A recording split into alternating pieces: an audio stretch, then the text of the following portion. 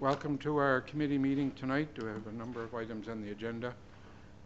Excuse me, I'd like to welcome members of the audience.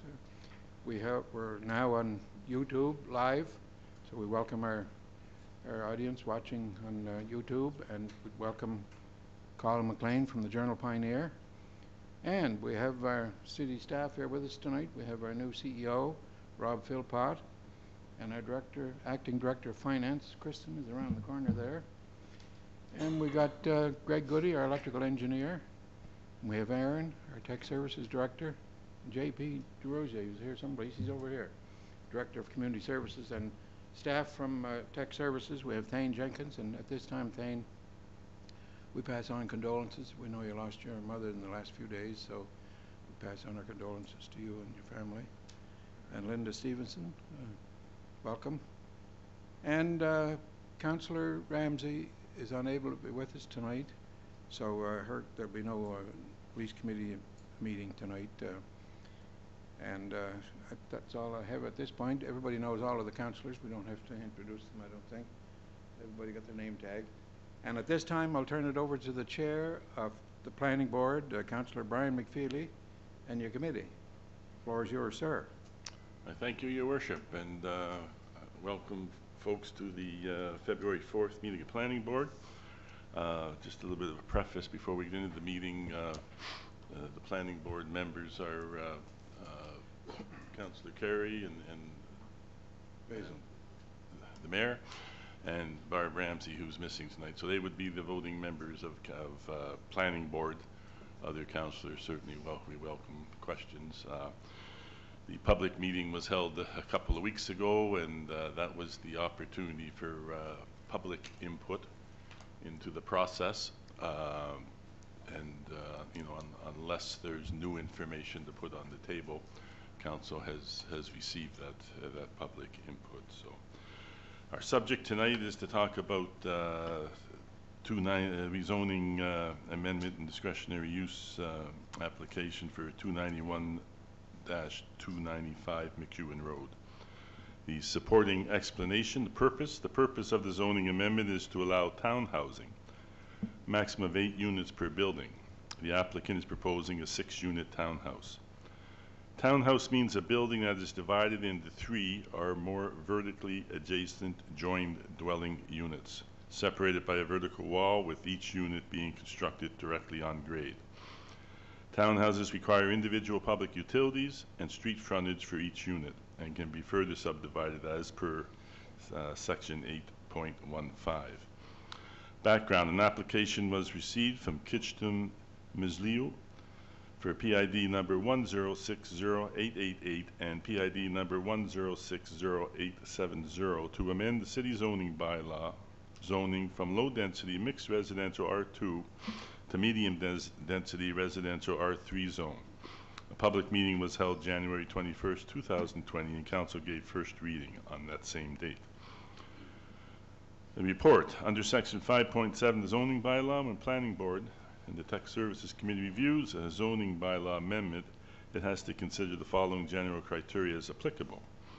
A, conformity with all requirements of this bylaw. Staff comment, if council approves the zoning map amendment from R2 to R3, the applicant will, will be permitted to construct a townhouse subject to a discretionary use approval and the development standards of the proposed R3 zone. The discretionary use approval runs simultaneously to the rezoning application as the public notice process is the same for both the discretionary use and the rezoning. The discretionary use being requested is for a six-unit townhouse on the subject property.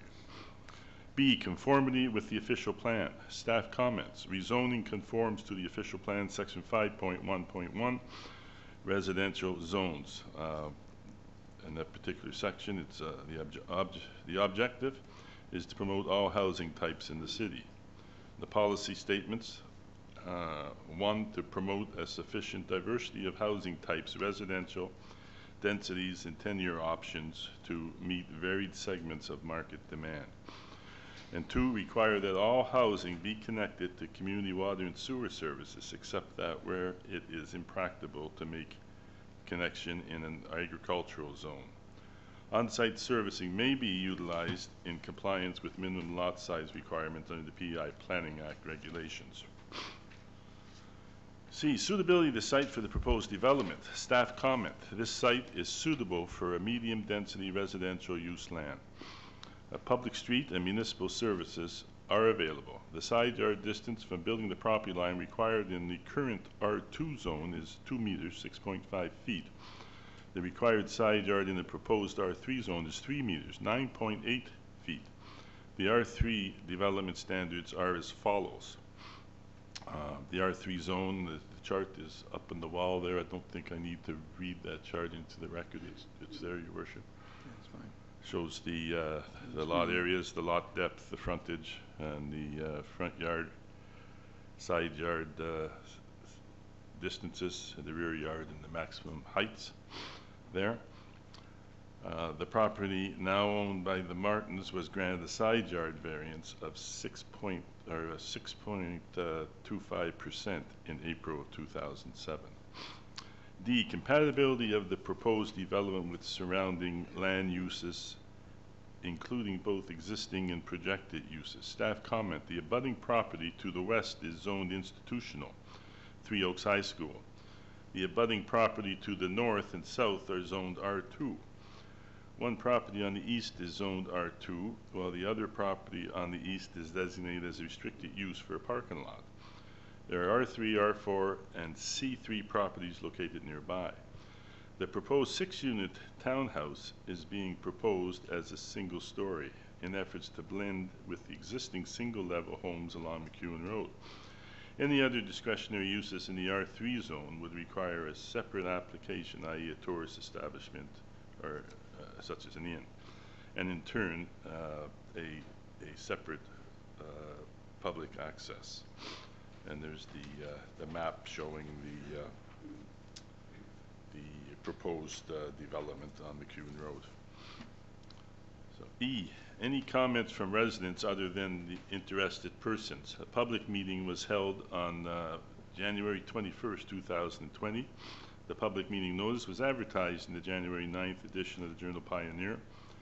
16 letters were mailed to 12 property owners. Fred Martin, 299 McEwen Road, spoke. He had concerns regarding the survey pit in the northwest corner of the lot, 295 McEwen Road, and drainage of the property in the area around the subject properties. Gis- Giselle Martin, 299 McEwen Road, questioned whether or not council can make a zoning decision if the site plan is preliminary without measurements. She also had questions regarding some of the R3 uses and the uh, size of the proposed six-unit townhouse. Gidget Tim Muslin uh, indicated that he will not build any closer to the property line than what is allowed in the proposed R3 zone. Giselle Martin asked what the setback was for this development. The concerns raised by Fred and Giselle Mar- uh, Giselle Martin are addressed in, the- in this report. F, adequacy of existing water, sewer, roads, stormwater, and electrical services, city parking and parkland for accommodating the development, and any projected infrastructure requirements. Staff comment, a 300 millimeter diameter water main on McEwen Road is capable of accommodating the water uses for the change in zoning from R2 to R3. The city's water supply is also capable of the added load of the additional units, two units. The two uh, 200 millimeter diameter sewer mains on McEwen Road are capable of accommodating the sewage load from the changing zoning from R3 to R, to R, from R2 to R3, excuse me. The city's stewards sewage collection and the treatment system are capable of processing the added load of the two additional units. McEwen Road is a collector street and will be able to handle the traffic from the individual townhouse units. The existing lots have access to the city's stormwater system on McEwen Road with an existing stormwater structure uh, at the property line. The development will require a stormwater plan to accommodate the area's natural drainage to be directed to this structure from the surrounding area. Electrical services can be provided to each unit. G, impact from the development on, on pedestrian vehicular access and safety and on public safety generally. Staff comment, the development will have three possible access points across the existing concrete sidewalk which the development will have to provide changes for existing curb and sidewalk at the development's cost. McEwen Road is a Collector Street, which has been designated to handle the traffic. The additional six vehicles or less from this development would have minimal effect. The development will meet the minimum setbacks for vehicle access from the nearest intersection of Mc- uh, Street and McEwen Road. H, compatibility of the uh, development with environmental, scenic, and heritage resources. Staff comment, no negative impact. Uh, I, impact on city finances and budget. Staff comment, not applicable. J, other matters as specified by this bylaw, and there's nothing applicable there. K, other matters as considered relevant. Staff comment, when processing a discretionary use application, council can determine the number of units allowed. The applicant is proposing six units. The R3 standards determine the allowed size and placement of the building. The proposed lot is 198 feet by 102 feet. Both, that's both lots combined. The allowable buildable area of the proposed lots is 178 feet by 65.5 feet. So the recommendation from technical service staff that the application from. Ms. Louis uh, for PID number 1060888 and PID number 1060870 to amend the city zoning bylaw from low-density mixed residential R2 to medium-density residential R3 zone be recommended to be approved by council and that the application for discretionary use for six-unit hu- townhouse be recommended to be approved by council. Um, As per section 5.10, subsection B, subsection 3 of the zoning bylaw, the planning board shall make a recommendation to council on this application before it is approved or, or denied. The planning board recommendation, whether carried or defeated, will be brought forward for council for a final decision. Uh, so with that, before we get into the motion, uh, perhaps, uh, see if staff have any additional information or Bruce? I I just had one question, and I think we asked it the other night. Uh, There was two lots, and maybe you addressed it in here. Uh, there- There's two lots, and we're doing six units. Six units Yes, over the two lots? yes. Is, do those lots have to be into one lot? Um, Can you, technically, they can divide it further into six individual, like, you know, they, right now, we're looking at just rezoning two properties to allow it to happen. For them to develop then, they may choose to have firewalls and have each individual unit. They're all so gonna can have, you, can you take the firewall right up to the, the Yeah. property line? y- yes. in and- that and- zone? And that's where they'll have, like, uh, they could have six units, and they could divide it up into six individual Right. individual properties if they want to have individual ownership. Each, that's why each unit is going to have their own services as well from the street, water and sewer. Okay, I just, I thought there was a, uh, you had to have a setback. But not in, in the row housing because they're going to be attached. There is going to be a setback on the end units, yeah. like the I- last. the I'm front. not against it or Yep. anything like that, I just wanted to make sure that that was, Yep, we don't run into a, a roadblock here. because if someone builds a semi now, like if he wants to build a semi now, Yeah. he can divide the semi, he will put a block wall in and he'll divide the existing two lots into Right. four, four, and he'll divide them right at a zero lot line on the block wall, Okay, on the interior walls, if you follow Yeah. that. okay, thank you. Any other, Councilor Snow? Councilor Campbell? Uh, I think there was, there was, when the Martins were here the other night, they were just wanting more to, uh, to have it recorded as they are concerned about the the drainage. But the other one was uh, preliminary plans. They would be more comfortable if they were more complex than the ones that were passed into them. And the, the- the, applicant said, we wanna make sure that we can get approval. Here's generally what I plan to do, gave a, a basic floor plan area, then gave a couple of elevation or front uh, view shots from a, a couple of comparable ones to say this is what I'd like to, like to build as well. And if he gets his rezoning, he says that I'm prepared to spend my money to get my concepts done to come in. He'll need those before he gets his permits to, to do it. But he has stated he's gonna do a one-story and it'd be similar to what he has Ca- oh, excuse me. Um, no, we're really just into that, right now, that's the type he's gonna do. E- All information will be available after a permit is issued. You know, when, when a permit is, when they finally decide to proceed to price it up and see that everything's viable and, and, uh, and issue a permit. Counselor Snow?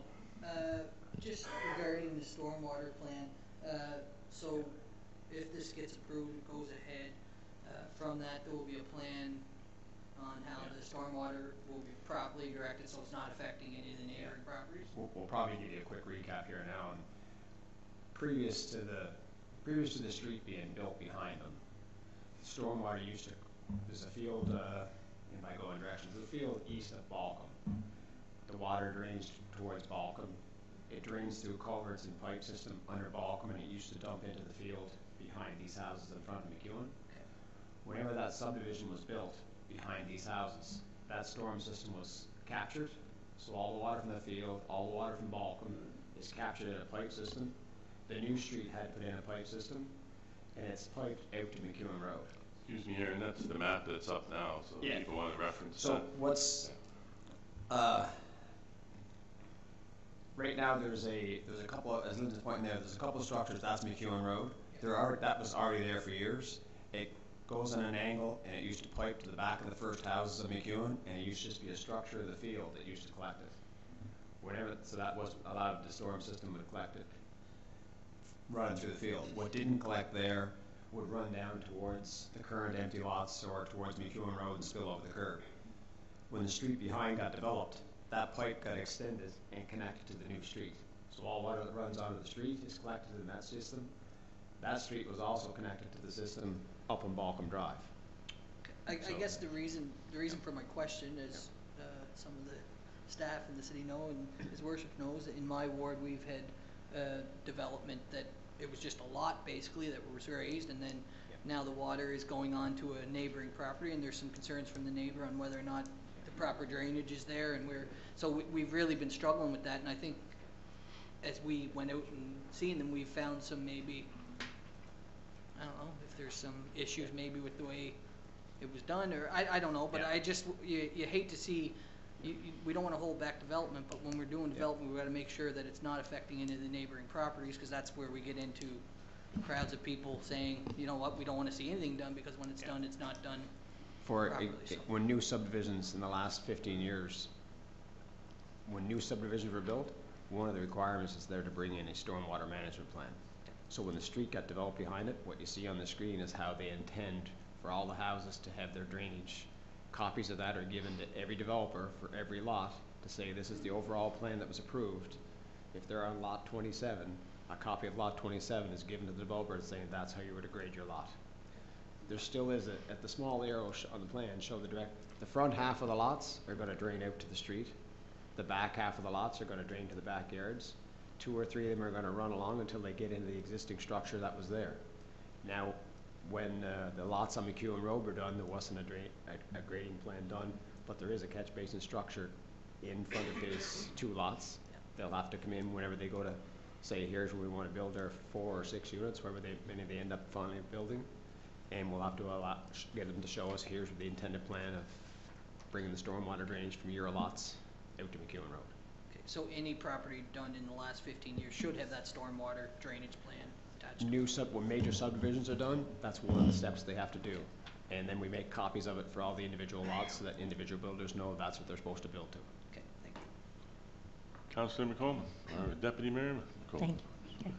Uh, I think Director Aaron, I might be repeating some of the information Okay. that you've explained, but I Yeah. just want to be really clear. Yeah. Um, At the last meeting, Mr. and Mrs. Martin talked about the the drainage, the water drainage that flows from, I believe there's a swale. Uh, And in section F, it it does mention, that, and I do think you've just explained it, but I- uh, about the city sewage collection, but further down in that section, it speaks to the city storm water system on McEwen Road with an existing storm water structure at the property line. So is that th- what you're specifically speaking of? Uh, yes, but there also was existing stuff behind and further up the subdivision that was to handle it. And now, it'll not be hundred percent until all the subdivision behind them is, is developed. But right now, anything from half the subdivision is no longer going towards the back of the house of McEwen Road. It's being captured by the street, that new street that went in. Whenever individual houses get built on that, that back onto these houses of McEwen, the front half of those lots will still be graded out to the street. So technically, only half of the lots, the rear portion of the lots will drain to the backyards, which, which in common ground with the McEwen Road lots, so. So, I guess my, my part B then would be, so with those matters, or with those structures in place, would that alleviate any of the concerns that the, the uh, It- it- it- neighbors would have? It is, but we're still dealing with winter and snow. Sure, And and when you build get- up. When you get snow that backs in your backyard and starts to melt, but generally, the yards are to be graded away from the house so that, but there's still gonna be snow in everybody's backyard and come melt time. But Okay. before, you had acres of land that was draining towards it, there was a big wide open field that was draining. Now, at least the underlying ground is that they're sloping and there's gonna be another storm system halfway in there. Okay, thank you. So, Aaron, would, in your opinion, would be any more or less drainage than there was if there was two duplexes on those two lots as opposed to the six units? Uh, Yeah, right now, everything we've been talking about has been dealing with not this individual development. Yeah. It's all been dealing with the l- acreage of land that's behind them. Yeah. And that's what all this other, we're trying to show you that there was a drainage system involved for all the property behind. It doesn't affect how this, this gets, they're gonna have to redirect his drainage around his buildings to get either over, it doesn't have to go to the structure that's in front of his property. They just happen to have one left there. Typically, it would just go over the curbs onto the storm Yeah, system and run exactly, down the street. exactly. So he could either get it over the curbs to this, that'll run down the street and get into the street system. There just happens to be a structure between these two lots that he can use to drain his front yards as well. Yeah. Thank you. Any other questions or clarification required? If not, uh, planning board, the recommendation, the, uh, this application bears the recommendation of planning board, so we would need a mover and a seconder from planning board. Moved by Councillor Adams, seconded by your worship Mayor Stewart, that the application bear the recommendation of planning board. Uh, all those in favor? Uh, Contrary? Motion carried. This, this goes to the monthly meeting. And this will go to the, the recommendation will go to the monthly meeting on Jan, uh, February eighteenth, Tuesday, Tuesday, February eighteenth. this year because of the holiday. Yeah. And that's at six thirty. It's open to the public and be right here in the chambers. So- And with that, your worship, I'll turn it back over to you. Thank you, Councillor McFeely. And at this time, I'd like to welcome CBC, Mr. Higgins. Welcome to City of Summerside. And uh, so we'll uh, continue on with the agenda. I believe we have a presentation to be made coming up in the next item. Uh, We'll turn it over to Councillor Kerry Adams. And uh, the presentation regarding a museum, and just before they they start, uh, I think this council unanimously supports a museum of some kind. We've got to get going here, whether it's for the military, and there's lots of history for our sports and our fire department and many other things. So we look forward to the presentation, and uh, we will turn it over this time to Councillor Adams for le- legal affairs and culture. I believe the presentation comes under your wig, so. Okay, so we'll call the meeting to order and welcome everyone. It's nice to see a crowd on hand. I don't think your button is pushed there, is it? Sorry. There you go. There we go. Sorry. Good, for something as important Okay. as this. Um, so I guess what we'll do, I believe Barb, yeah, Barb's here. So Barb, if you wanna come on up, we can move right into your presentation. Excuse me. No, I'm good. Good evening, Mayor Stewart, Council. Thank you for giving me the opportunity to present my presentation to you this evening.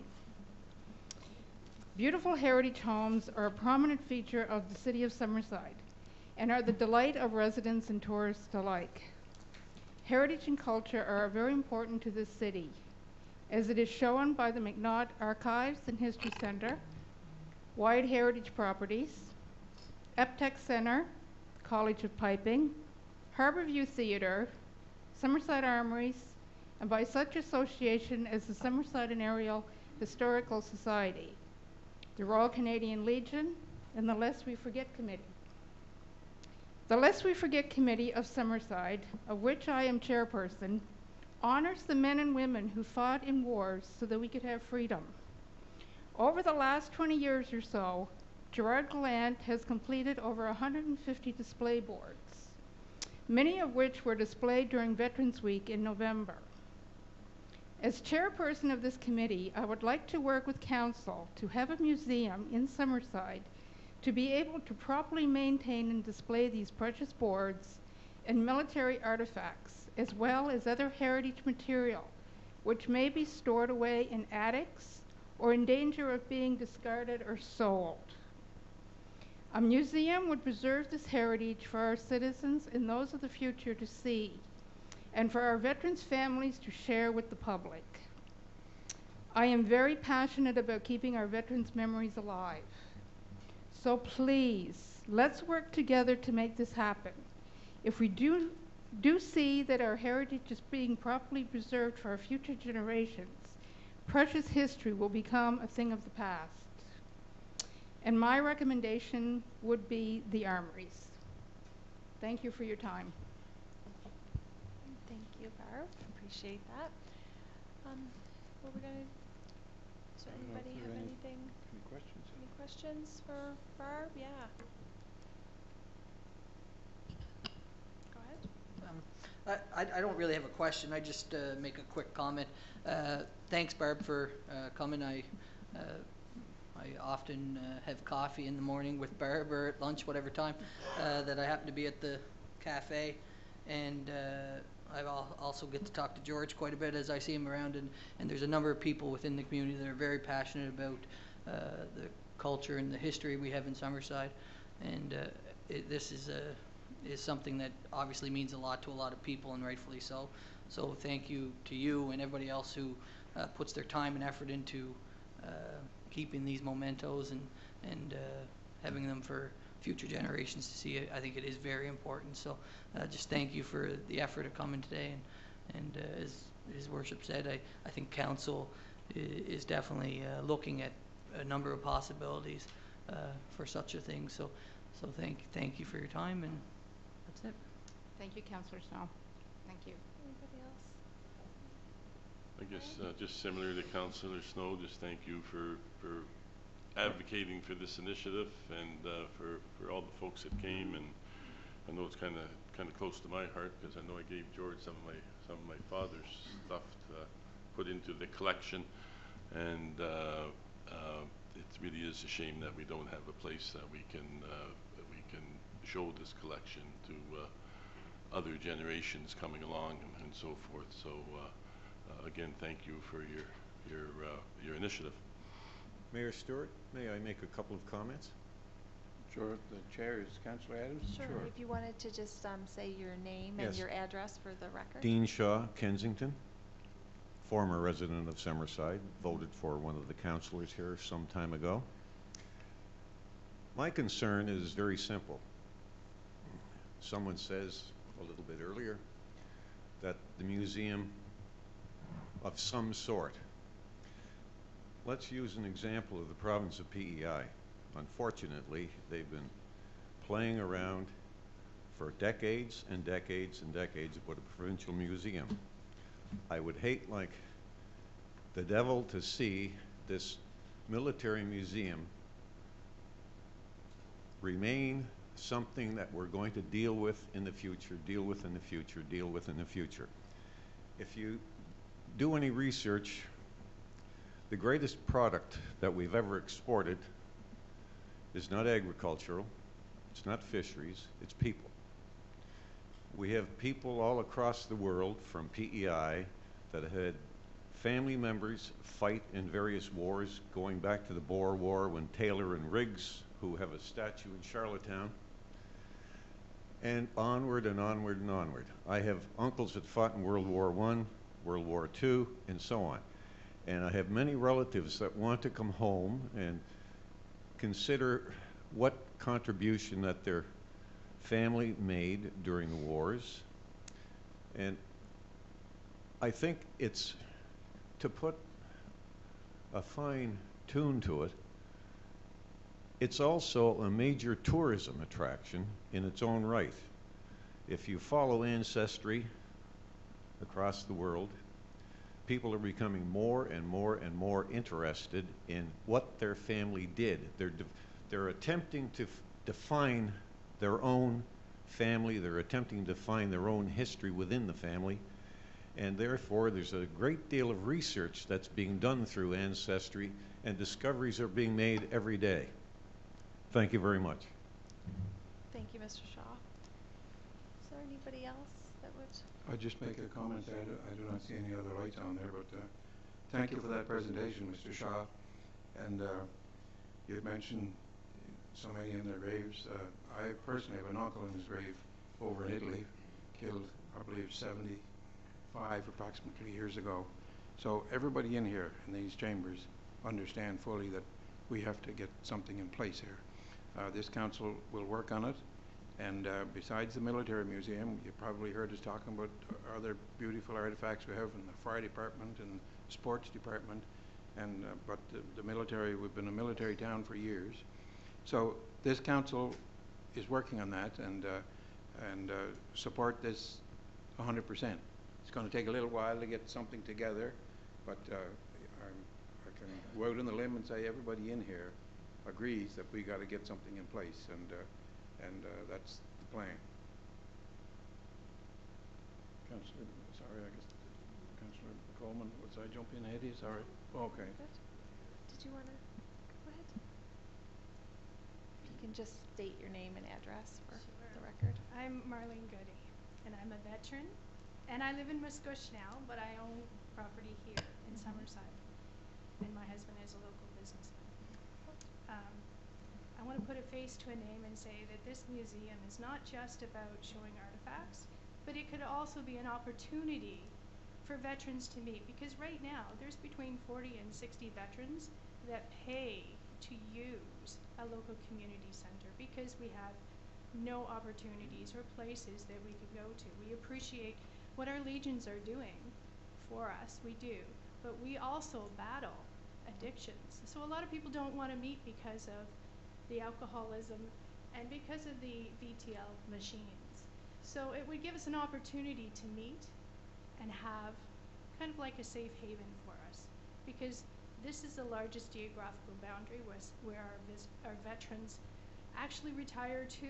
It is the best spot for us. We have things that are on the go here that, that we don't have throughout the rest of the nation.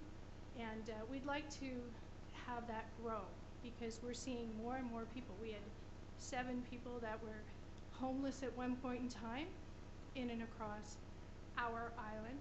And although I'm not a native and I moved here to when I retired from the military, it was chosen because of the community and the way that you have embraced us, and we appreciate that.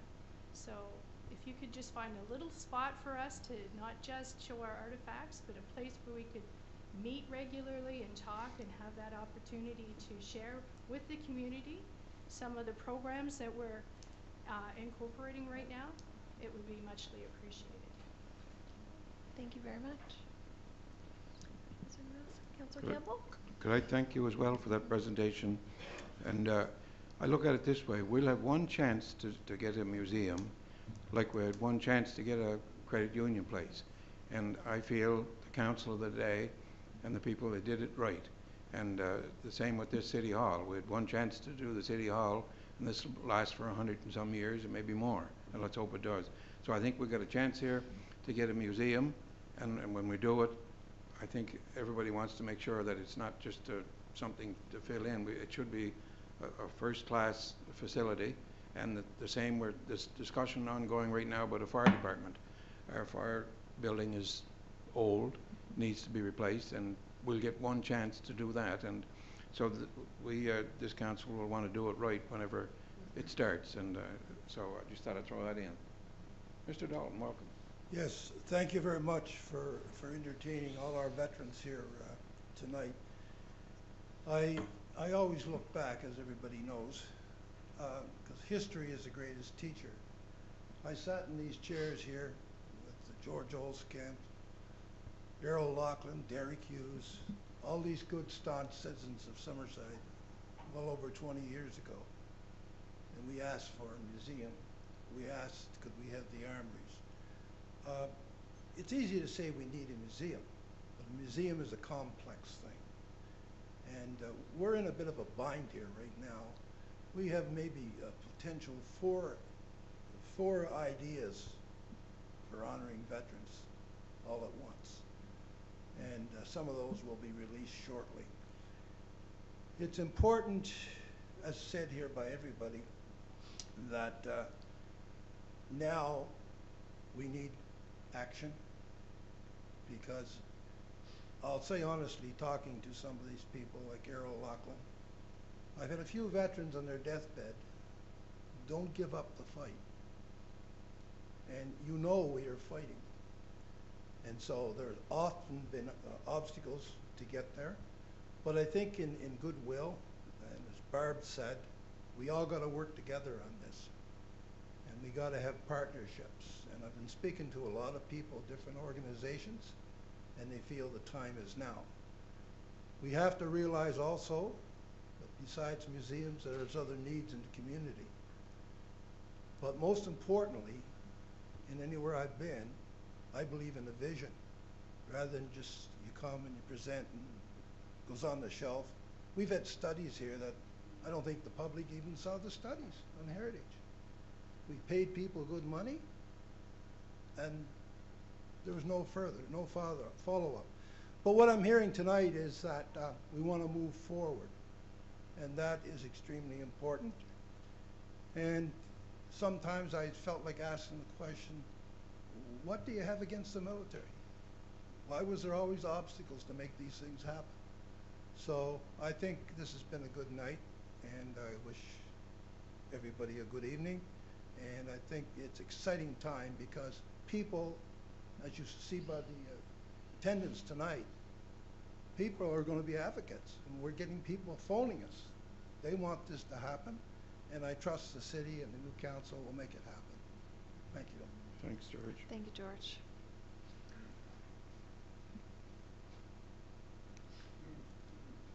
Hello, my name is Randy Ross from Wilmot Valley. I address the council and Mayor Stewart. Uh, I'd just like to stress the urgen- urgency of the uh, topic that we're on tonight about the museum. And uh, uh, lately, within the last short while, we've lost some of our serious collectors in the Summerside area. And uh, some of the collections have come up for sale, and you can't expect people to hang on to things if they're not going to be done, something done with them, or if they don't have an interest. And they've come up for sale online and everything, and uh, so we're gradually losing a lot of our heritage.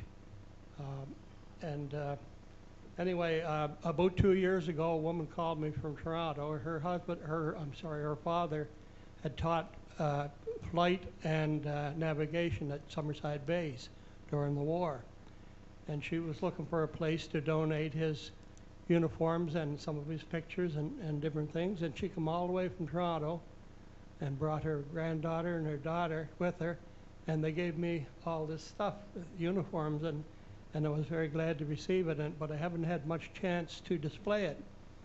And um, this, this, uh, while these things are available, they, we have to get in contact with them. I have a couple of items in my own collection, and one of them is a certificate installing Bradford LePage as Lieutenant Governor of PEI, and another one is uh, another certificate installing uh, Samuel Prouse as Lieutenant Governor of PEI.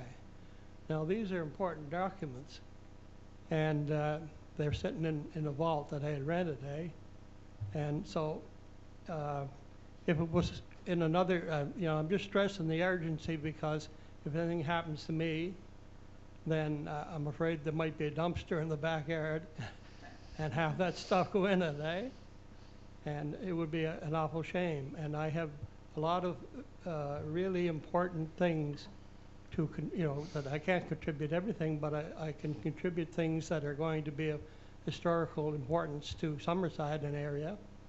And we have a, a, such a wealth of uh, history in this area, from shipbuilding, uh, fox industry, to our military uh, uh, contributions.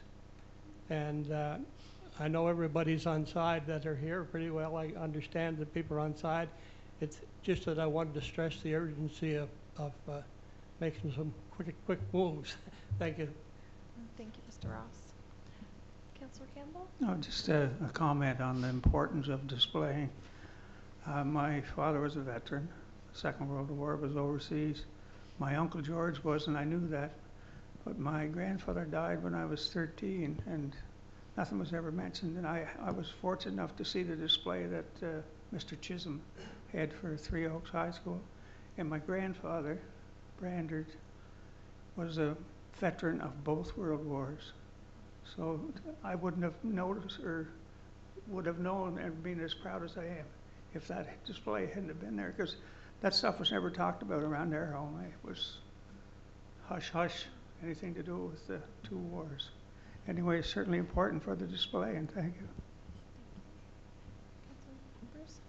Yes, uh, thank you, everybody, uh, Barb, George, Randy, all of you that uh, made the presentations here this evening. It's uh, been something that uh, has been talked about around the table lots of times, but it's really great to see the uh, crowd here tonight that is supporting it. We, you know, we, we need uh, a few things, but there's, there's probably some of these things that we can do together. And it's great that uh, there seems to be the support uh, here tonight, around the table here, but also in our uh, uh, presenters to help see this thing move forward. So, uh, again, thank you for the presentation. Deputy Mayor?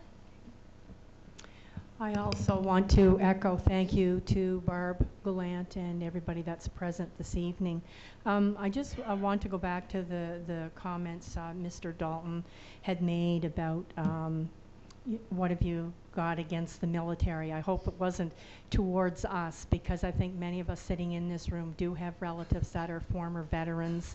Uh, I probably wouldn't be sitting in, in council this evening if it wasn't for decorated uh, war veteran, or veteran, uh, Mr. George Olskamp, who really encouraged me as a young high school student. So I think there is certainly uh, a respect and an honor for our veterans. And this community has tried very, very hard to um, keep alive the, the heritage and, and the, the importance and the significance of our veterans. So I think as Mayor Basil and others have echoed, it's something that's very near and dear to our hearts. I also believe what Mayor Stewart did mention is we have one chance to do this right, and we have to make sure of the planning, the strategy, how we approach other orders of government uh, to see if we can uh, somehow uh, look for other ways to fund this type of an initiative. So it's not something that we can do easily, but I can assure you, everybody in this room is is very much. Um, very honored and, and respectful of our military and our veterans. So thank you so much tonight, and uh, we, we certainly are not going to put anything on the shelf. Thanks. There's nobody else? Just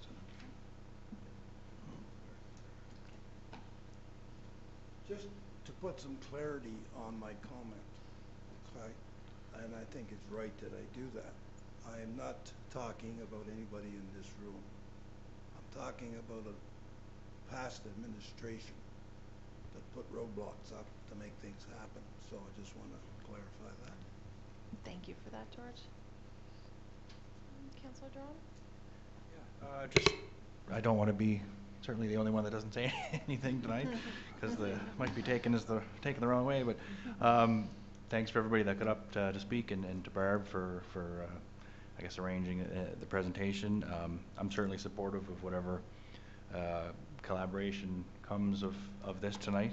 Um, I think um, we, we say it a lot to kind of prove some of the points we make, but um, I think in the eyes of the public, we, we are, at least this, this group of us are the, a council that is making change on things and is actually acting on some of those things and not just talking about things and letting the next group of people keep talking about it.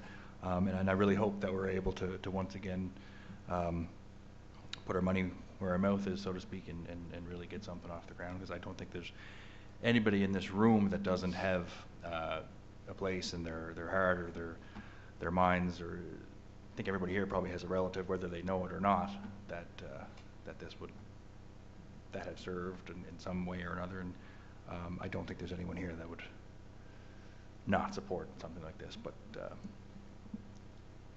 just wanted to, to say that. I certainly support it as well, yeah. Okay, there's. I just to sum up, then, uh, I, um, I, we certainly thank everybody for the presentation here tonight, and there's no question, we s- miss the military, that were here for years, and everybody in this room, including you folks in council, we fought tooth and nail to try to keep the base here. And, uh, but, uh, we, uh, job-wise, we ended up with, with more jobs out of it, but we still missed the military. And being a military town for years, like we said earlier, uh, it's important that we have a, have a museum. And I was over in Yarmouth last fall to a, an Atlantic meeting, and uh, Yarmouth is a town of half our size, and they have a beautiful museum over there. And uh, the, and this one was the Provincial Fire Museum in the town of Yarmouth. And it's, it's beautiful. And even a few years ago, we had our 150-year-old trucks, or whatever they are, they're, they're very old, some of them here in our fire hall. They were stored over there for a number of years, and our past chief went over and got them back here, and they're tucked away in a corner in our old fire hall over there, which is a shame that they're not on display, but hopefully that will happen. And uh, they're, they're beautiful, uh, and uh, so I think uh, the support is in here to work and, and get this tied together. And like Councillor, or Deputy Mayor said, it's going to take a little while, but hopefully the term of this council or before, we can get something in place. And uh, I certainly thank everybody for the presentation tonight, and, uh, and uh, I think there's no doubt the support is here. Back to you, uh, Madam Chair. And just to wrap up, I couldn't, I looked quickly for it, but I couldn't find it, but there was a quote from Culture Summerside saying how important they, also that group of employees thinks this is, so when you have a group of employees like the gang we have in culture, um, that are really dedicated to it, that means a lot in helping us move it forward too, cause they have lots of great ideas that they can, stuff we'd never think of, so. Um, If I could just sum up with one more thing that slipped my mind there. Sure. I was, uh, and maybe you folks heard about it, but there's a gentleman in the city, he's a collector of grandfather clocks. And I was to his home and saw, if you can believe this, three hundred beautiful clocks, hundreds of years old. And it's a shame, they're in the basement covered up with blankets, and he is, uh, you know, he keeps some of them just around where you can see them, but, uh, uh, he is a, a, a person who can repair them, and so, anyway, he would like to donate them to a museum. But, so there are so many things that could make a beautiful display here of all the things we talk about, whether it's the military and, and sports and the fire department and whatever. So, uh, that's all been taken into consideration as we move forward here. Thank you. That's it for me, for sure. Is that, good, okay. And if there's nothing else, we'll adjourn and go into the next community services. Councillor Snow, the Chair of Community Services. Thank you, Your Worship. Thanks, everybody. Uh, I'd like to call the February 4th Community Services Committee to order. Uh, If I could get a approval of the agenda, moved by Councillor Adam. Uh, We'll call upon uh, Director JP Desrosiers, and uh, the only item on the agenda tonight is the active transportation. Uh, JP has, uh, I guess, an update from our our last council meeting. JP, I'll turn it over to you. Thank you, Councillor Snow. Um, It was uh, council, sorry, committee's agen, committee's uh, wishes for us to uh, follow up with uh, the active transportation funding that was announced by the province uh, earlier, or sorry, later in 2019. Um, So staff did so uh, since our last committee meeting. Um, We met with the official uh, active transportation uh, committee that was struck by the province. Uh, This committee, committee is, it's a great committee, actually. It's set forth, uh, has representation from transport, economic development, tourism, policy, health and wellness, et cetera. It's a very well-rounded uh, um, committee that has a strong goal of putting together a, a good island-wide approach to active transportation. Uh, We did confirm that there's, of course, the $5 million allocated in the fund to be spent annually for a five-year period. Um, Of that $5 million, 2 million is actually existing um, transportation and infrastructure renewal funding uh, from the province. 3 million is uh, generated from the uh, license renewal program. Um, But all 5 million will be committed to active transportation initiatives uh, over the next, or 5 million a year over the next five years.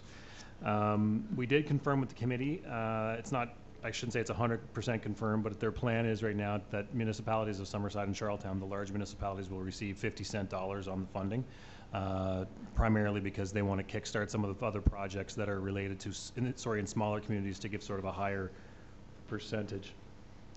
What do you want? Okay. Um, The, uh, so yeah, so we're looking at 50 cent dollars uh, for those projects. Um, They're willing to consider as well the enhancement of existing trails that may tie into active transportation um, initiatives in our community. So if we have existing trails that we could add to that link north or south or east or west of our community, they'll certainly consider those, so that's a good piece. Uh, We presented them three or four project concepts uh, that will sort of fit into the committee's current plans, and, and they're very supportive of all four of them right now, which is great. Uh, We didn't propose that we would do them all in one year. We proposed that we would break them up over the four of the five-year uh, program. And some, of the- some of the, you know, four projects we presented may need multiple years per, so we're, we're going to be getting into that as well. Um, we are, staff are currently putting together these plans, and really what we're doing is we're costing them out um, by plan, and we're going to prioritize them during the budget process. But it's nice to know, at least going into budget, that all four of them have um, endorsement by the committee unofficially, but they were very excited with those projects. Um, And what I can say is that the, the projects are focused from a connectivity component from east to west of the city and from north to south. Uh, and we use the 80, sorry, the 880 mindset, which is, you know, would you allow one of your family members or loved ones who are either eight years old or 80 years old to travel the city, either walking or biking to and from work uh, on their own? Um, and they sort of pass that test in terms of the project. So that's sort of a very quick summary of our meeting with, uh, with the committee. Um, very positive. Um, you know, it's exciting to have the opportunity to, to have 50 cent dollars to go towards active transportation. It's been on our, at least our department's wish list for a number of years now, but to have the ability to leverage some, some dollars towards it is good. And I also think it's a good uh, message from the provincial government that they are focused and, and heavily investing in active transportation uh, over the next five years. So uh, I don't know if you have any questions following that, uh, but I don't know if council has any questions, uh, uh, just personally, as Chair of Community Services, o- obviously active transportation is, is a big part of what we would do within the city, and, and hearing that there's, uh, funding available for such, uh, projects is promising for sure. I'm looking forward to, uh, getting closer to what these projects are and, and, and moving, hopefully some ahead with some help from the province, so, uh, if there's any questions from council, uh, I notice Councilor Doiron has his light on. Yeah, just, um, just as I was listening there, I guess my ears kind of perked up, both as, when you mentioned the, the great funding that may be available, and as well, um, when you mentioned, you know, the east, west, north, south, I'd be, um, it's too bad Barb was here, but, wasn't here, rather, but, uh, I know there's a lot of residents out there that'd probably crucify me if I didn't bring up, um, between like Pope and Notre Dame, Greenwood Drive that goes down to, you know, the turf field and the trail and, and, uh, a lot of kids from Elm Street travel there. And I don't know if that's any part of any of these, uh, projects or plans, but just wanted to throw that out there. That that's an area that I know I've been told a lot about and I know Barb probably has too, being that's her, Councilor Doiron has mentioned her it several times, yeah. and I may have mentioned it before, but, um, just when you said north-south, a little alarm went off, and then you said funding. The alarm went off again. There it is. Alarm, alarm.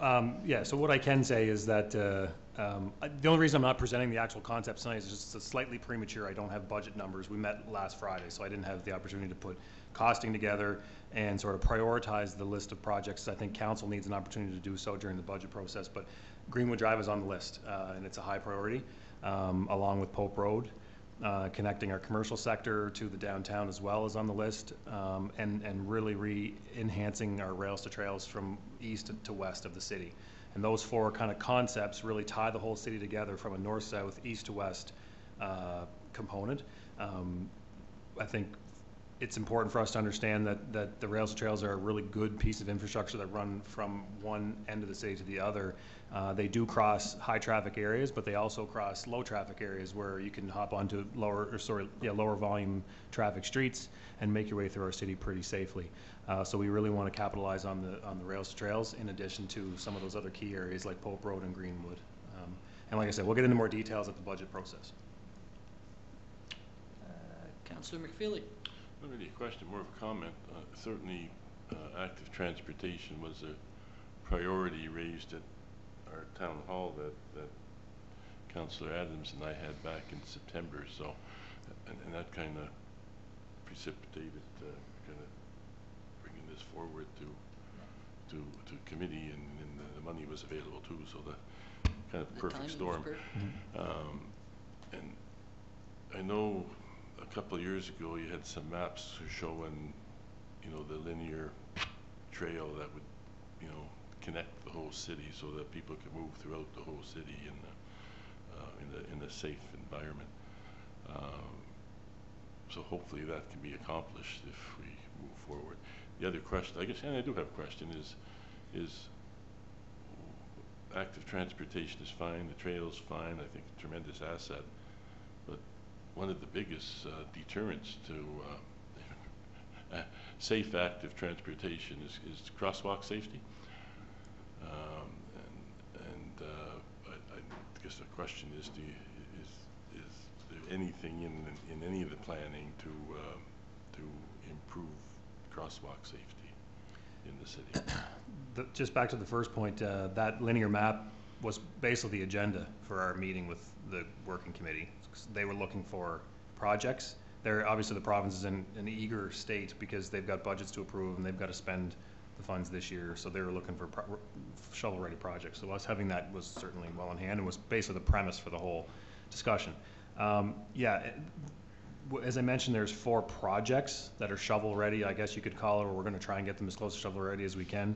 But the, f- the fifth element that I think we'll pick at each year over the five years is signage, paint, and promotions. Those are kind of the, the key areas that we're looking at. So, you know, having readily available and easy, easily accessible active transportation maps uh, is one thing that, that residents will want to know when they're trying to find their way to work. But second to that is when they arrive at a crosswalk through, from the, from rails to trails as an example, well-marked, well-notified crosswalk areas for active transportation users, and that branding from the mapping will be found at the crosswalk sites uh, as we go along. Now, what I thought we would do is kind of break those apart over a five-year period, and so that we have dollars to spend on the project, and then bike racks and signage and for the promotional piece as well. So let's, we're gonna try and tie those two things together. Any other Quick, questions? quick uh, follow-up question. oh, So is there any indication from the provincial committee that there would be sort of long-term funding on projects that they would buy into a, or is it just an annual intake of applications and? It's an annual intake of applications, but they will consider multi-year phased approaches for Okay, a good. project, Good, thank but only for five years. They won't go beyond this, to the year six. Your worship, do you have a question? I just see your lights on there. No, I guess it's to leave it on most of the time, but uh, that's fine. No worries. Uh, any other questions from councillors regarding active transportation? Uh, if there's no other questions, uh, thank you, JP. Uh, we'll move for adjournment. Thank you, councillor Adam. Your Okay. worship, back to you. Thank you, uh, Councillor Snow, and uh, as mentioned earlier, the Chair of the Police, Fire and Emergency Service is not here tonight, and uh, so we'll have that meeting at another night. And We'll continue on with the Bylaw and Policy Review Committee. What- Sorry?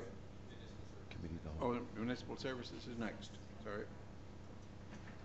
snow removal, or snow cleaning. You're cleaning snow or removing it? We don't generate. Good job though this year. I'd like to uh, call the Municipal Services Committee uh, to order and uh, get the approval of the agenda. I think Barb is my, you can approve the agenda, right? Perfect, thank you. All in favor signify by saying aye. Contrary nay. Motion carried. Thank you. Uh, Snow clearing is the first item on the agenda. And I know that there's been a couple of questions around uh, snow removal uh, and how we do it, basically, and uh, timing of what we're doing. And I know uh, that uh, we went through every, every couple of years or two or three years, we seem to have the question come up. So uh, we have staff here tonight that uh, can, I think there's a presentation. Do you have Greg? We can turn it over to our director, Greg. Okay, I'll just do, uh, uh, for council's information, just do the current status of how we do things and how it's evolved from past council. So, one of the things we've, we always look at trying to be efficient in trying to do snow removal in the city. We always have our challenges as, I say, as the landscape changes. So, there's always a few concerns as things change in the downtown core or as things change with developments as well. S- New streets, even new houses uh, start uh, using up the vacant lots where we like to push some snow. So we're constantly tweaking it a little bit, just to let people know. But as an overall method for uh, snow removal, there's information on our website for the general public um, that kind of gives our general process of how we go about, I would say, doing a snow removal blitz operation.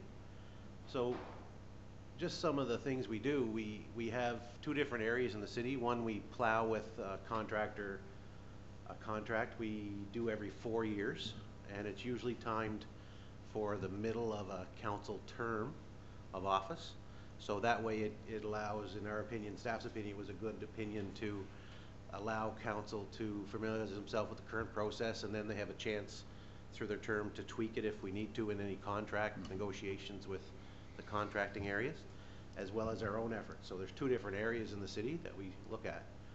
So, and we have a, a list of equipment and, and uh, manpower that we use for doing that in the city. Um, one of the things we do do, though, the information on the website needs to be updated a little bit. You'll see in front of you some of the number stats that we have, and these have changed since this document was created. Uh, 111 kilometers has now grown to 114 kilometers of streets, so we've added about 3 kilometers of streets since last time we looked at this information. The 48 kilometers of sidewalks has grown to approximately 52, with uh, an addition of 8 kilometers of boardwalk to do. So that number's probably jumped the largest from 48 to about 60 kilometers of The boardwalk. boardwalk wouldn't have been in there before? No, it was never in this information on the website, so. Okay. That was addition over time, I think it started back in two thousand and eight, two thousand ten, and continually grown, the boardwalk. Um, t- twenty-six cul-de-sacs, uh, there was two additions on cul-de-sacs that are a little more problematic on doing the circle and trying to figure out how to remove snow in cul-de-sacs, that went from twenty-six to twenty-eight. And the fourteen municipal building parking lots actually has expanded, the latest count we did was twenty-one, and we started doing a more precise listing of all the park areas. So the, for example, the boardwalk has a parking area we have to clean, and the shipyard market has a, uh parking lot we have to clean. And the city of Summerside assists the GST center, and we clear out the church parking lot to help them for parking to get off the roads a bit. So those are the type of things we've added over the years, but it's about twenty-one now. And we also clean out more park, park areas for parking that are snow activities in the winter to help out community services. So things have grown a bit. Um, on top of that, we also do our, all our own snow removal on all the water utility and sewer utility infrastructure. So, some of the strategies we use, um, that we do is, of course, it's very variable on the weather. And uh, it really depends on what we think the snow is gonna hit it, hit us and how fast. And, uh, usually the timings we put out to everyone is a less than twenty centimeter snowfall event. And what that really means is we don't really need to get into blower work too much. Usually that can be pushed with plows and blades, which is much quicker than blower work. And that's really where we get the timings from. There are times, of course, when we, we make the wrong judgment call and snow gets ahead of us or something like that. And those are usually the times when complaints happen the most, is when we make a, a bad judgment. But just to give you an idea of the sequence, so what we normally do with the plowing equipment is all the plows will hit the main streets first. Um, you have to open the main streets first so people can travel from their subdivision to a business and back and forth. So we always start with the main roads, which are the high volume areas, and then we work out to the subdivisions. And it's been a set order for many years. Um, we do have a, the main collectors get done first, and then we start at a certain spot and work our way back through, through the main road.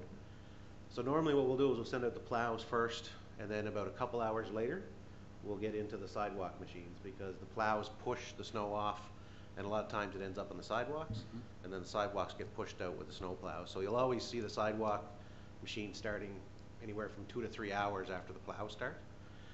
And that usually, so a lot of times our sidewalk routes go along with the plows. If we had to change the sidewalk route, we'd have to wait till the plow was totally finished after five hours or six hours of event before we could start the sidewalk machines. So this way, we get a jump on the sidewalks a bit. They don't always mesh well with certain sensitive areas of sidewalks, but that's the reason why we do it that way. Um, Might add to that, especially this year, that early snowfall we had that turned ice. Yes, that Or was early difficult. ice that turned to snow. And, uh, I- there's still pieces of that around. It's, There uh, yeah, it- it's what about- cement. One, one particular spot was around the Journal Pioneer, um, I guess that'd be the uh, condominiums there on the corner of Queen and Water. We actually had to take a backhoe to, to scrape it off the sidewalk, it was that bad. The blowers couldn't like push through it cement. or anything, we had to actually smash it with the backhoe, so. There were some difficult areas for sure. I live up in Collin and, and I'm in the Rotary Park every day. When, is that listed too, the trails? They've been doing a heck of a job there this year. The trails been, That's really done by Community Services, we Community can't take credit for that, they've been grooming that really well. They've got a lot of active use at the Rotary Park for their, their biking and snowshoeing Yeah. and That's a lot of great. their efforts. So, so that being said, I'll, I'll get into some of the, just some of the, the issues we deal with for the city. And this gives you an idea the last little while of the highs and the lows of the snow accumulation. So everybody probably remembers the 2014, 2015 year where we call it Snowmageddon. And we had 480 centimeters of, of snowfall that year, which was a huge amount of snow. And a lot of people in the community suffered from that snow. Uh, and the lowest was 144 in 2010, and 2011. So it's quite a range, but we see about 280 on average in Summerside. So this was something we did to the past council's term. So we talked about what's important. Um, timely, obviously, is important, efficient. We try to communicate as best we can on Facebook for updates, social media where and when we can. And we try to be meticulous, so we try not to be too adverse to people that we understand have concerns of where we put snow and where we try to do it. Um, if, if the city didn't have the cooperation of citizens and their understanding, you'd probably end up having a lot more cost for trucking snow away in certain areas rather than be able to push it in vacant lots and things like that. Our standard procedure when we do that is to coordinate with the landowner to ask them if it's okay, because it's their land. So we ask them to do that before we go ahead and do that. So previous council, we had a little variance in our timing when we did some analysis. We saw a four and a half hour time frame for, I'll call the, uh, the old town or, or before it was amalgamated. And then the one where you had the contractors, we had a five and a half hour time frame. So there was almost an hour in the difference. So when we re-looked at doing, doing the events, we found that the outside contract expanded to sixty-one kilometers and inside stayed at fifty-one. So what we ended up doing, we changed the routes. So what you can see here on the map is a red, the red and blue are the contractor routes that were redesigned, and then our city internal forces, we had upgraded equipment to put some extra wings on some equipment, so we're able to take over more of the area from the contractor. So we balanced it out to create a five-hour time frame for everyone in the city, from start to finish. At the same time, when we did this, we took a lot more kilometers, but it was the kilometers with the bigger lanes with the plow, which would cover faster distance. What we did um, with the two wings and the plows, we actually saved the city at that time approximately fifty thousand dollars a year by dropping one, at- one route by the contractors and taking on more areas. So we saved, saved a few dollars, used our equipment better, and then uh, also made a more consistent level of service for everyone in the city. And you saved about fifty percent of the phone calls. Yeah, there you go. Yeah, So or probably seventy percent of the phone calls. Yeah, Some so- people. So point that's it- where it's at right now and how we split it up. We made some adjustments last time and the, and the, the important piece for council is the next opportunity. It's the last year, this year for the snow contract, so we'll be going out this year for a new contract, so. Do if you there's- plan to expand what you just finished saying there a minute ago? We, we investigated doing all services internally for a while, but uh, we found that with the equipment investment and the staff power, staff manning power investment, it was less expensive to keep with the contractor at that time. Our research found that we could lease equipment at a lower rate, but Moncton had done that, and then they found that the leasing rates changed a few years after, and it didn't become viable anymore. No, you just said earlier that you expanded and saved fifty thousand. We did. So if Yeah. you expand again, you lose the fifty thousand, is that what you're saying? Well, no, it becomes a balance of how much Yeah. gear we need to invest in versus the savings. So that was, Yeah. we, we, we are always constantly analyzing it and trying to figure out what's the best way to use taxpayer dollars for the service level, is what we try to maintain. Hmm.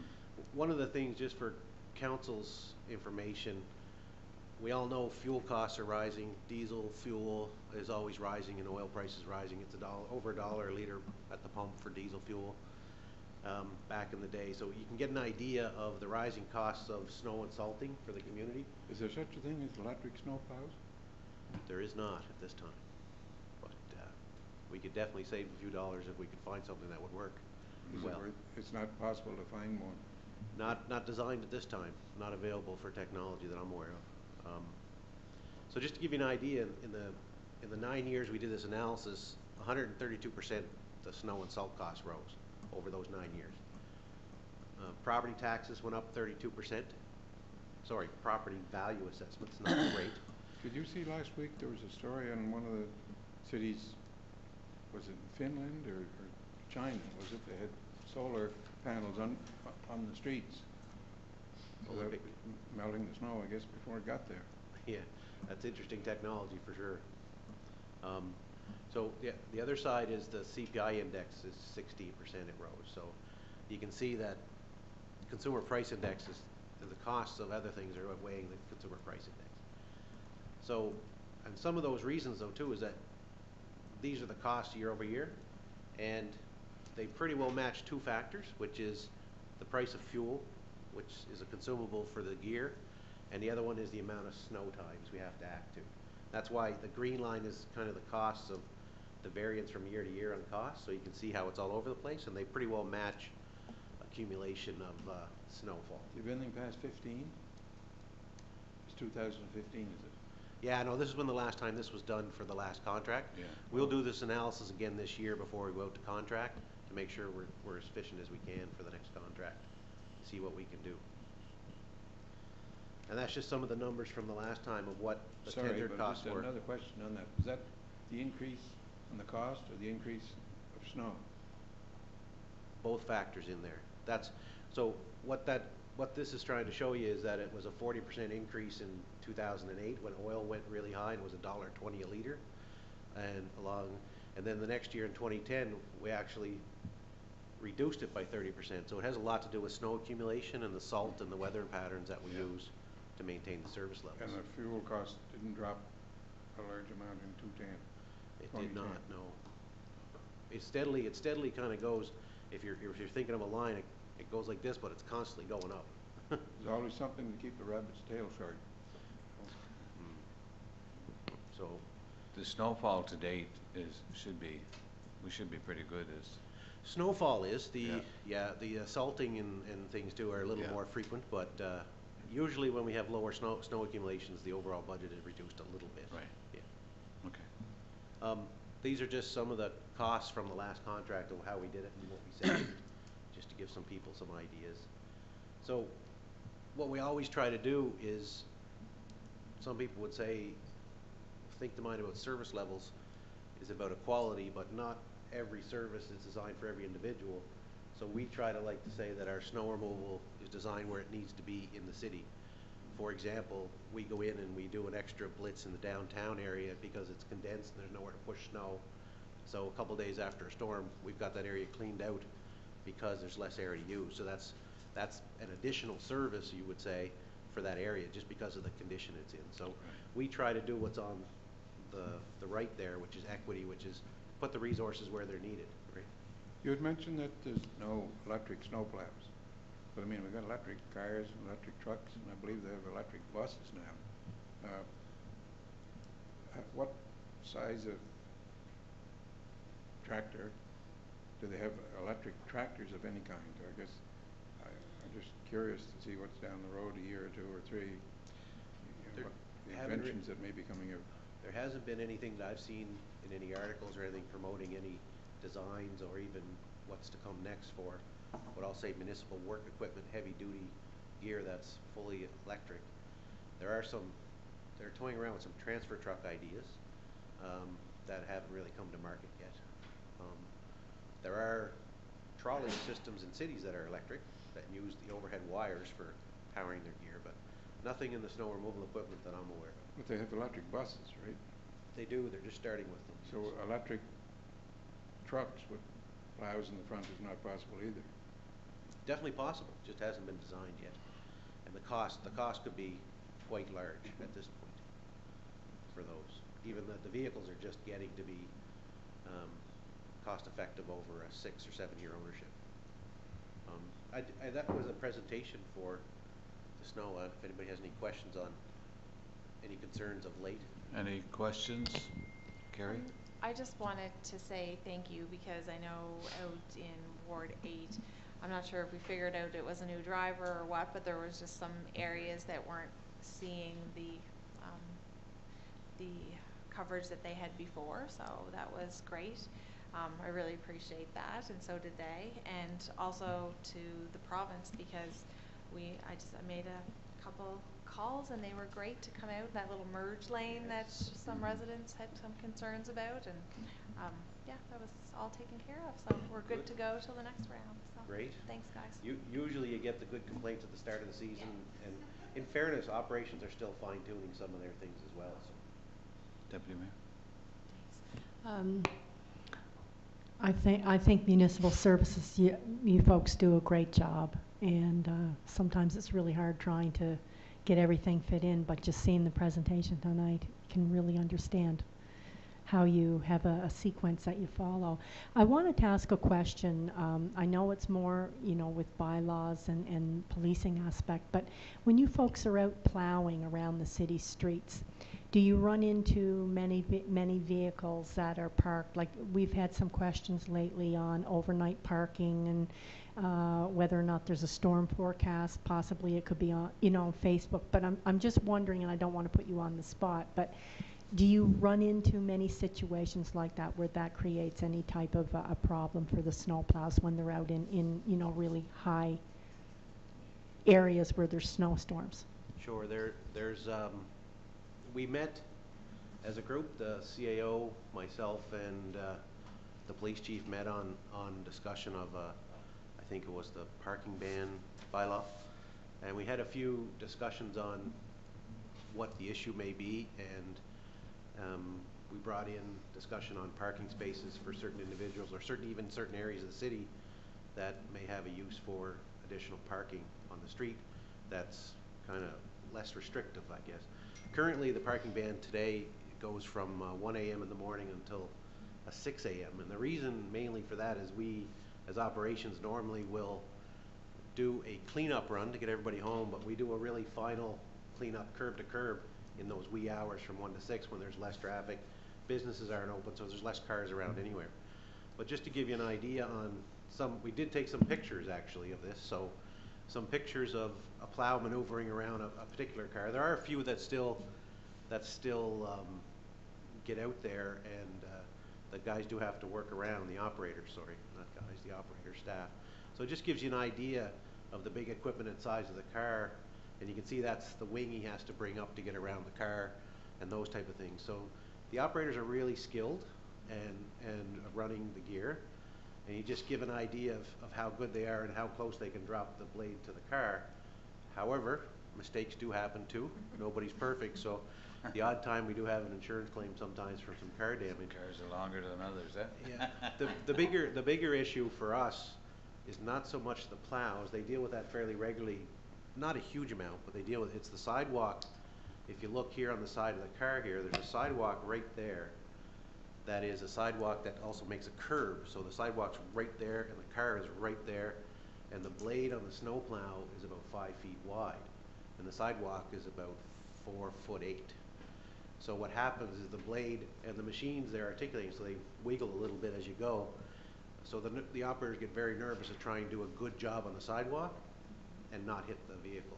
So that's one of the concerns we have for allowing cars, and that's just the result, here is the result of a, of uh, the guys and how close they can get to the vehicle when they go around. But what happens, two things happen, is when the person wants to move their vehicle, they have to, not everybody owns a Jeep like, like this individual. I'm not sure if a Honda Civic would get through that, and there could be some complaints there on, on that. And then if it hardens, they can actually damage their car with going over the, the snow home. So there's some concerns there. But uh, normally what happens, and we'd have to go back and clean that up later, once the car moves. But it wouldn't necessarily have to be an overnight, like could have been at four o'clock or five o'clock in the evening, and just. get there. Absolutely. Yeah, and then at So I the don't- same. I, I thought that was an overnight parking ticket on the side there, but it's not. No, no, definitely not. I, we did ask the police how many tickets they actually gave, and they didn't have an answer for us right away, but they said they used due diligence in creating warnings and things. And, and this is some of the downtown area. Now, this is a much lighter snow, but you get an idea how close they can come to the vehicles, and, and they do push a pretty good, pretty good deal for the, for the plows. So you just get an idea of some of the vehicles. We did take some pictures this year. But these are daytime pictures. Uh, It's, we just have an Evening, yeah. overnight parking ban. in Right, place but we wanted to show some Yeah. situations where we do Yeah. work around vehicles that are in the space. It's fine. and they're not, they're okay to be there, right? Because normally what we'll do here is we'll go through and clean what we can, and then schedule another event in the wee hours when most vehicles are gone, anyway. Um, I, I was the uh, counselor that he brought this forward, I guess, asking about the overnight parking ban. And to Bruce's point, these are daytime pictures. I guess in, in my thought of the whole thing was that this already occurs where cars are parked during daytime as we're clearing, that sort of. My idea of our parking ban, whether or not it's even possible, could it be revised, would be that there would be a strict parking ban. Obviously, we wouldn't uh, do it during the daytime hours in the downtown business core or in other areas, but side streets, etc. when we know there's a storm, a storm has come, a parking ban goes into place, and then it's in place until such time we, the roads are cleared, all the side roads, etc. But in the downtown core, you obviously you'd be able to park during the business time. But I, I, my, in my opinion, there's nothing stopping a car from doing this exact same thing as we're plowing, so we still have to either come back or, my, my idea or my thought was that a parking ban would go into place, it'd be a period of time, nobody could park on the streets during that time, but then, as we know, there's long periods of time, say for the last couple days, the streets are in perfect shape. For a car to park tonight on the road, there's really no issue whatsoever. You might get some salt on your tire, but you're going out salt and it's not gonna be affected by a car sitting there. So I'm wondering, that, that's where the questions came to me from, Mhm. is why can't I park? I was actually out, uh, uh, having a coffee at one of the places the other day, and, and somebody said to me, I really hope you could get that parking ban because the, they just don't have a place to park during certain times. Right, So, so, I, I, don't know, it, it, I, I totally respect everything our workers do, I think they do a great job. Um, but as I said when I brought it up, if we're not looking for ways to improve stuff, then I think we're wasting our time sitting around here. That we always gotta be thinking of ways things can improve, and if it can, it can't, but that, that was my idea. so, some of the initial research on that, that we did talk about is, uh, City of Moncton has a pilot right now going on for removing a parking ban, and they're waiting for results to see how, waiting for feedback from, I guess, the operations crew on how effective it was.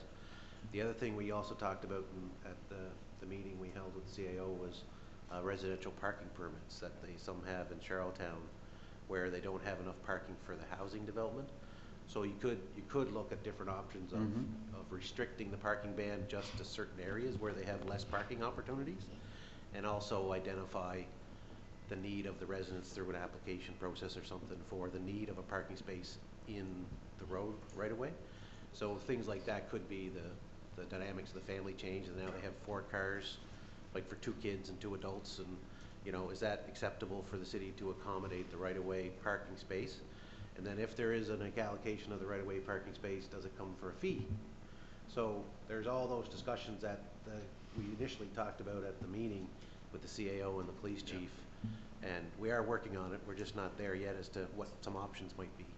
We did also discuss about a, a communications plan to get some of the notifications out too. So we're just not quite there yet as a, as a group, but I think we're still working on it. as Councillor staff. Snow, just to follow up on that, uh, Appreciate Greg that. has touched on some of the discussions that uh, myself and he and uh, the chief of police have had on this issue. And it's our intent to flesh these potential ideas and options out a little bit more so, because we wanted to bring it back here to council for more of a discussion. And I'm not trying to sidetrack uh, the discussion here, because I know it is on snow clearing and uh, snow removal schedules, but we'd like to be able to bring back some recommendations to council in the not too distant future. We just gotta finish, I guess, a little bit of work that we're doing in that regard. And, and it's important, I note, I also had some constituents reach out and say, don't you ever get rid of that snow parking ban. So, so it, it goes both ways, Yeah. right? So, but, but I have people ask, so that's why we bring it forward, so. Perfect. Okay, Councillor. Two quick points, one, one uh, relating to the, the conversation we were just having there, and I'm thinking about that ever since uh, Councillor Snow raised that, you know, how we can accommodate that, and I'm wondering if one of the options worthy to be looked at would be, you know, that's, that the resident, and I don't know how far reaching it is, but for the most of the city, I don't think the parking ban's an issue.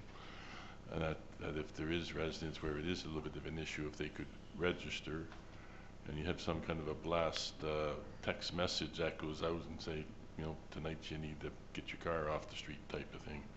Uh, that there'd be a process for them to register and, and, and whether that would be a compromise that would, Yeah. would meet their needs, something like Something like that. that. The other point I want to make regarding snow removal, and I, I, travel to quite a few cities in this, in this city in the run of a year, in this, uh, country in the run of the year, and, you know, uh, I was in two last week, and I mean, our snow removal is so superior to what I see. I mean, I, I, I've never been in another municipality that has had, that's had the quality of snow removal that we have here.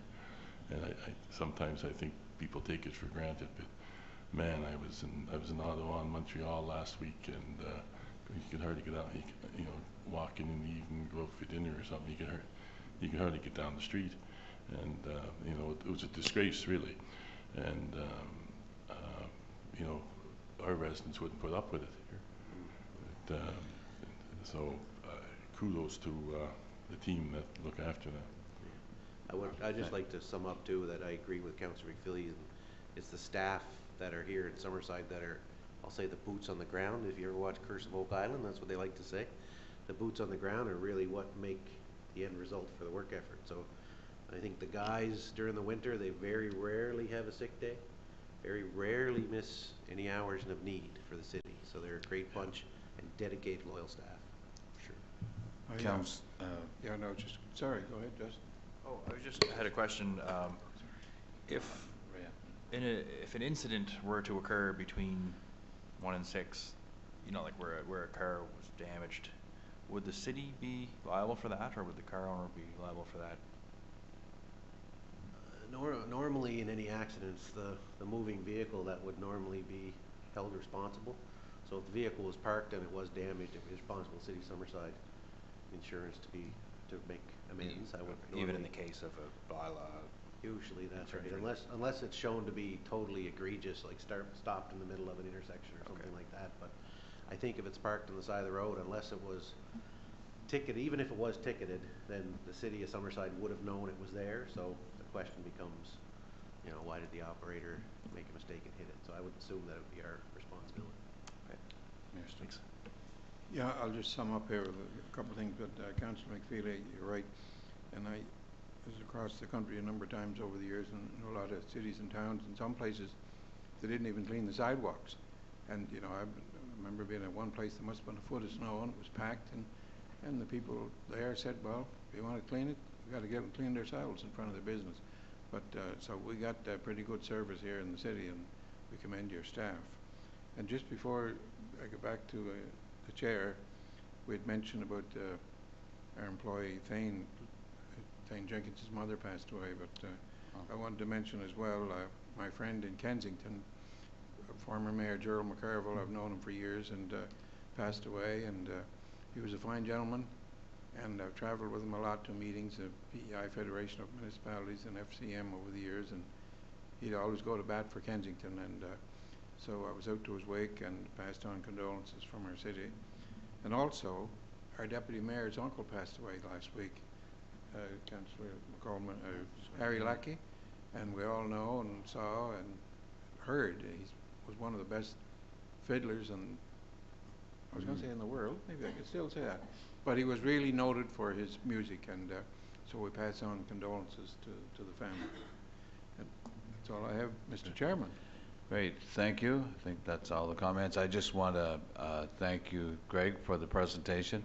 I know that this, uh, this policy that we have now has been uh, uh, built from a long list of complaints and, and a lot of uh, experience over, over the years. And, and, and I just want to say that the last time we did this and when we did expand the city uh, part of it, it was phenomenal uh, because I was the one that was calling almost every snowstorm. I, I was getting calls in the middle of the night, you know, and once we changed it, bang, it, it went away. So I really appreciate the work that the guys do. And yes, we are very fortunate. We have phenomenal snow clearing here. You don't have to go far to, to find uh, that we're right. So, good. Thank you very much, and we'll turn it Uh, over to Troy. Councillor. McDougal, can I just say something, just to add to what, echo what you're saying? Yes. Um, I think with Tropical Storm Dorian, sometimes there, there might have been people make comments about the electric or, you know, the lines or whatever. But I, I also think that uh, a lot of the times our residents do get a bit protective of the crews because I've heard them say sometimes either Facebook or publicly or at the coffee shop, well, you get up there in that plow and you try, see how you're going to do. Or else something about, you know, being up in the bucket in 80, you know, the winds being really high. So I think our residents really do, for, you know, really appreciate the efforts. Good. Thank you. We uh, now have a presentation on climate risk and resilience assessment report. That's right. That's right. How are you doing? All right, Yeah, yeah. thank you. Um, uh, Mayor Stewart and council. I, um, I was involved with this, uh, project from, from the beginning. And, um, Quest, what's that? Oh, yes, sorry. Uh, Gerald Giroux with the electrical department. I'm the electrical engineer. And, um, so this, uh, this presentation, what I did was, uh, Quest had to make a presentation to NRCan with regards to, uh, this, uh, report that they did for communities. They did it for six communities across Canada. And, um, so I just, uh, revised it a bit so that it mostly pertain to what, what we would be interested in. The, the first few slides I'll probably go through rather quickly. Um, if there is some questions, we can, uh, we can deal with that, but, um, I wanted to get to the report part of it.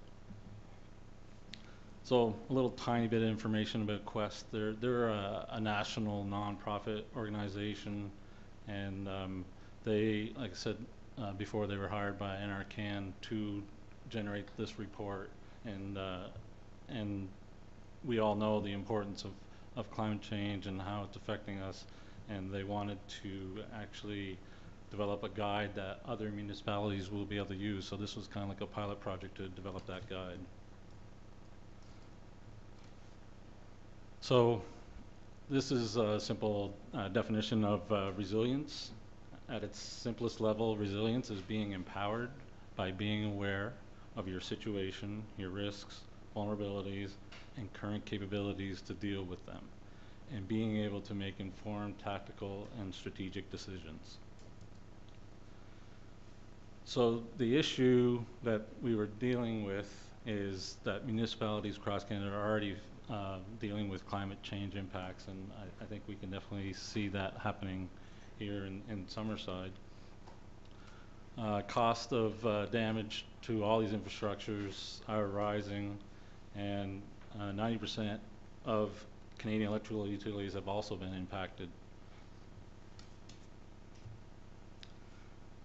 This slide here is showing the, the, the rate at which uh, insured losses in Canada are rising, and this graph does not include any uninsured costs that are bared by the, by either municipalities or, or customers.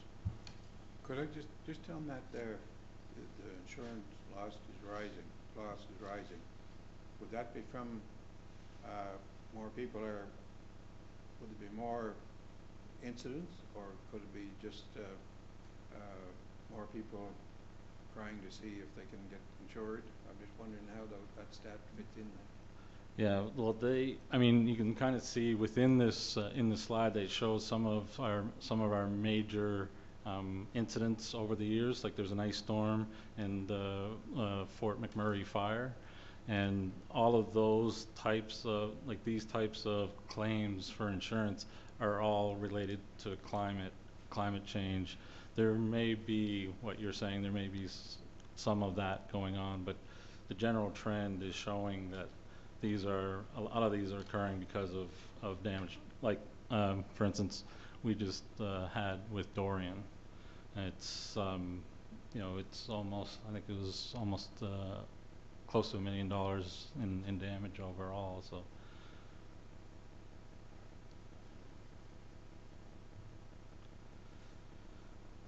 In the report, uh, there is some, there, there's some climate context involved. Um, there, he- this, uh, this slide here is just showing some, some things like, for instance, here in Summerside, uh, in twenty, in twenty eighty, we're gonna have about 40 and a half days where the temperature is over twenty-nine degrees Celsius. So that means we'll have more, uh, heating load in the summer, uh, cooling loads in the summer. Um, and they're also talk a little bit about, um, they're, they're also showing about the, you can see there's a picture there on coast, uh, coastal, uh, coastal damage.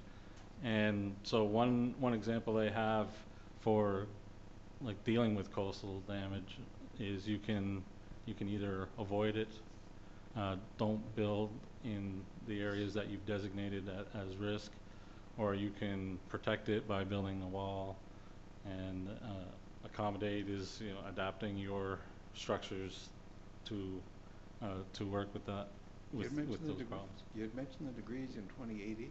Yes. From what was the amount of change? I didn't catch that.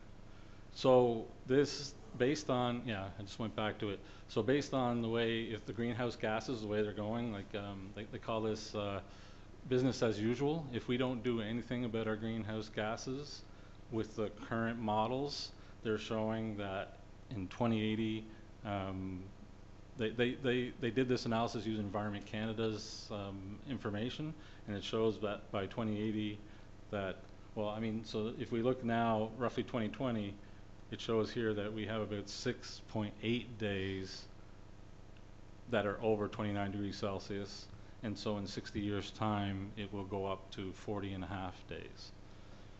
Better get more golfing in there. Mr. Campbell. Sixty years' time. Yeah. Appreciate Yeah. that information. though. It's interesting. Yeah, there's, uh, actually, there's a wealth of information in this report. Um, Quest did an excellent job. It, um, it was, I think it was, uh, very good for, um, for us to take advantage of, uh, this, because actually, at, at this go-around, NRCan paid the bill for this work to, to be done for the six communities.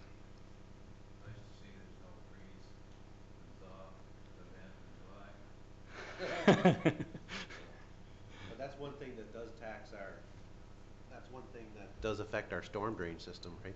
So one of the things we're seeing more often in operations is, as these freeze-thaw cycles happen, we've got to get out with our backhoes more often and clean out the ditches and the manhole covers and the catch basins and things, right?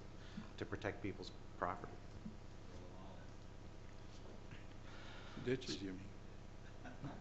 So from the energy, uh, sorry, emergency management perspective, one of the things that we, we know is that we ask everyone to be self-sufficient for 72 hours, 72 to 96 hours. And then in, in any emergency beyond that, we have to, the municipality has to uh, step in. And um, so these are the, the things that the municipality will have to keep in mind as, as, uh, as time goes on. And from the utilities perspective, um, in the, through this study, I know um, in New Brunswick, for instance, they found out that there was, uh, the National Building Code was uh, inadequate for their actual ice loadings.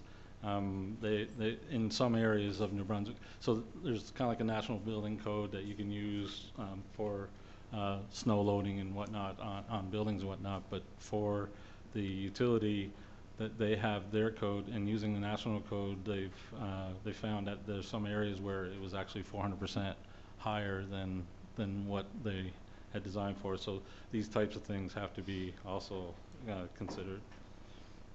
And um, in this in this slide, uh, it just shows all the tools and resources that Quest used uh, to perform the uh, to perform uh, their investigation and, and then uh, develop, develop the report.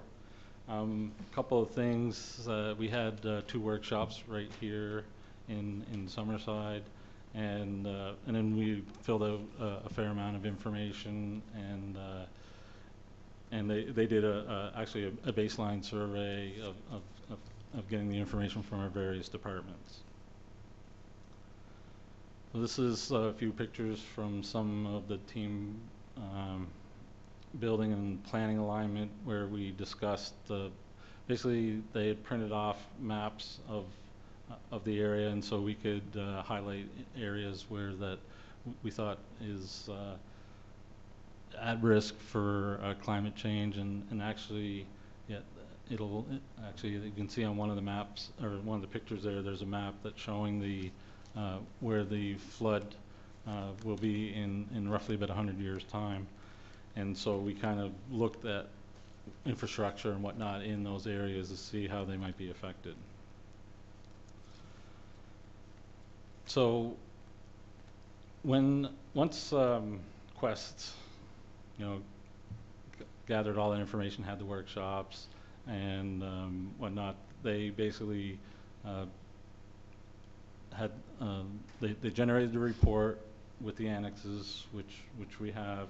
And then they also have a, a recommendations report that kind of lists off uh, things that they, that, that they and we, like, this was a collaborative effort. Um, they did get our input. And um, so they developed the recommendation table, basically. And uh, we'll, we'll take a look at one as an example to see how, how it can be used in, in the future. And um, then this is uh, this information provided can be used in our EMO strategy uh, with the EMO committee and whatnot and, and strategies going forward. And then they provided, they're going to provide, the, use this, like I said before, as a template for a guide for other communities to be able to follow and develop this for themselves. And then in this project, uh, with those six communities, they will be doing an annual follow-up for the next three years. That's part of the project, and then they will do a final report when that is that is over with.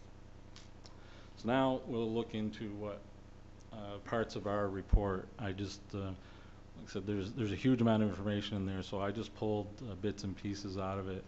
Um, this is here are just four of the climate projections um, within that report, and I believe there's about 22 of them in, in the report. And so that top left graph is the same one we were talking about earlier, where it shows that you know now in 2020 we only have 6.8 days over 29, and then in 2080 uh, it's going to be 40.5. And this, this report is um, basically, like I said before, based on business as usual. If we don't start doing something about our greenhouse gases in Canada, then this is where we're, we're heading. And so this is a, a picture that was developed for our city showing basically uh, the year 2100 where we will where we can have flooding up to on the on the coastal areas and so like I said through our when we did our workshops we kind of looked around those areas and see uh, and, and, and seeing what uh, what infrastructures and, and, and how it can affect you can see like uh, most of the downtown um, like by the wharf and whatnot is is pretty heavily affected So what you just mentioned there, they say less than two percent of emissions are caused by Canada sort of thing in the world. Other countries, uh, China's and, and others, uh, it, it doesn't seem to be decreasing somewhat, so, uh, are we catching up any? Yeah, um, um, yeah, well, it, it's, that's, that's kind of what everyone, like, I'm a, I'm a very environmental person, I've always been. I shut my lights off the second I leave a room, that kind of stuff. And, um, and everyone usually kind of, kind of jokes with me, and they said, listen, Gerald, you're really good at that, but there's somebody in China who, who's just putting smoke up a stack uh, and uh, defeating your purpose. But I, I really think, I mean, it's, it's going to take a while. Um, I think the younger generation is way more educated and more aware of what's going on. Like uh, Greta Thunberg is, is pretty impressive. Um, yeah, we only do uh, accommodate like 2% of the world's greenhouse problem, but it, every, every little bit helps. And like Summerside, one of the things that always impressed me, me about Summerside, um, I, I've only been with the city for, for, for two years, but I've lived here um, for, for a long time, is how progressive it is. And everything, like almost every project we're doing is helping us uh, be more energy efficient and, and environmentally conscious. So I think it's, it's um, this, a lot, a lot of this report kind of, you- you'll, you'll see there, there's some things in the recommendations we've already implemented just recently, and so we're kind of like ahead of the curve that way. I mean, no question, we're certainly doing our part here. Yes. But when you watch, and read stories from other parts of the world where they're not doing enough, uh, are we catching up? But I guess Well- that all remains to be seen. Yeah, well, that's where you kind of uh, hope that this stuff has to go to the United Nations, like the UN and, and whatnot, to, to have global um, buy-in. Um, everyone should realize that um, this affects all of us. We're, in a way, we're breathing in the air from China, from, you know, here. So. One- One of the, one of the important things of, the- of this document is to help the city build resilience plan, and its, and its decision-making is important too. Where do you build the infrastructure, where do you reinforce it? What type of land use planning you can protect against, those type of things. It's really a reference document for that type of stuff. And also your emergency measures organization can help plan from this document, from the risks that may come down the road.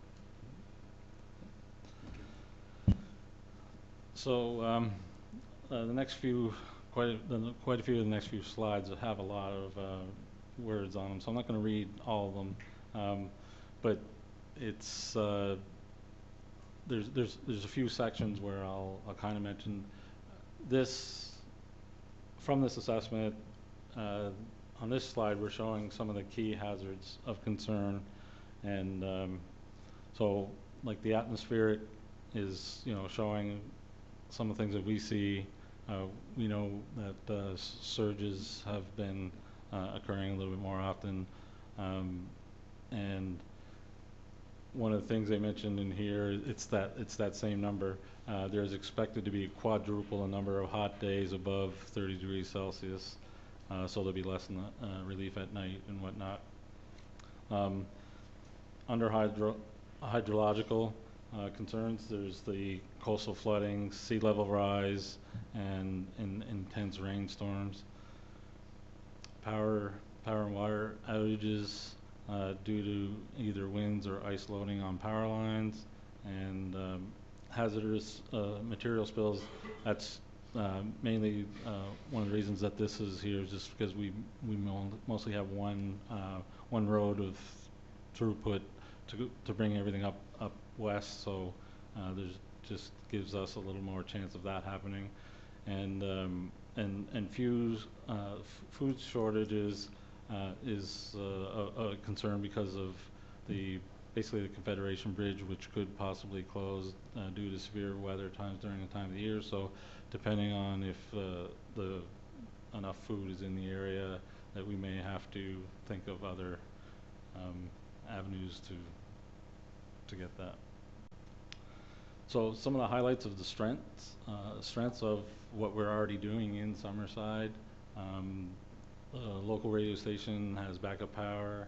Uh, the use of social media and electronic communication is is is really well in in Summerside. Some of the highlights of uh, and of strength in the in the planning area. Um, City Council knows their roles and responsibilities. Um, working on updating the contact tree inventory of resources and equipment considering climate change projections impacts when making infrastructure and land use planning decisions. Again, with uh, highlights uh, of strengths in the energy infrastructure, um, we have backup power for City Hall and EMO, Public Works, so, uh, municipal faci- facilities and lift stations are already uh, hooking up for backup power, and we have a mobile backup generator. Um, the electrici- uh, the electric utility maintains a list of oxygen users and others of, of concern. Uh, hospitals and schools and some EM shelters are ready for backup power. Back up again, that's what you say with the hospital. Yeah, well, actually, our hospital, our hospital does have backup power.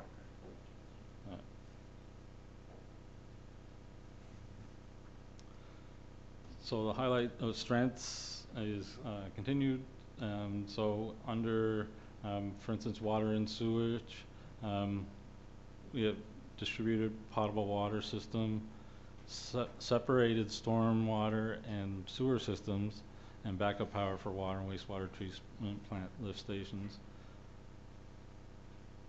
Also, under highlighted the strengths for, in food, we have food is delivered by truck into the community, and there is a small community garden and uh, greenhouse.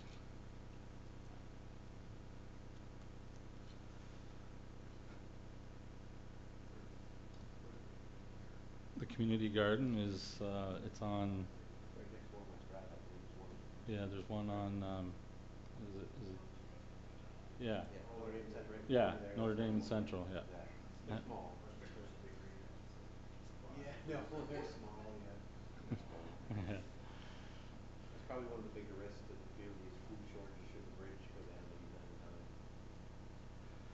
Yeah, the, in, the- in this report, they're trying to factor in all those types of, uh, of, of, uh, assets that you could use, and so that was one of the questions, they said, well, do you have any community gardens, and then we kinda listed off. It's small, but it's a, it's a start. So that was a highlight of uh, strengths, so now, um, the next few slides, we'll talk about the highlights of areas for improvement. So under communications and awareness, more education and engagement is needed. Develop proactive resilience education strategy. Inform residents of evacuation routes, priority of power restoration and preparedness. Uh, ensure secondary diesel supply for uh, diesel or for backup generators, including communication towers, are available. Should, just back up Yep. the one at schools there. So, should we go a little further than just encourage the local schools, or should presentations be made to the students, or to the teachers, or to whomever? Yeah, this, well, I said, this was meant to be as a guide, and it's, Yeah. and like I said, uh, once, um, now, now that it's been completed, so now the EMO committee can review it and decide Right. how, that, uh, what we did, whenever we generated the report, um, everyone who was involved kind of put their input in, and so we kind of guessed at the priorities and, uh, and, and durations and whatnot. So it's, it's meant to be used as a guide, so once, um, once the committee does review, and then they can choose whichever priorities are, but yeah, it, I mean, that, to me, that is the key. If you can get into the education, um, system early and, and make the, make, make our youth aware, I think it does make, um, our community stronger that way, and, and realizing, um, that there are, at the very least, like, there's some easy things that they can discuss about, well, turn the light off when you leave the room. That's a pretty easy, uh, thing to, to promote. And then if they use this report to say, look, if we don't make any changes, uh, you know, at the year twenty-one hundred, the sea level is gonna rise by one meter or whatever it's gonna be, and so now we'll have to worry about, you know, some of our, some of our community because of that.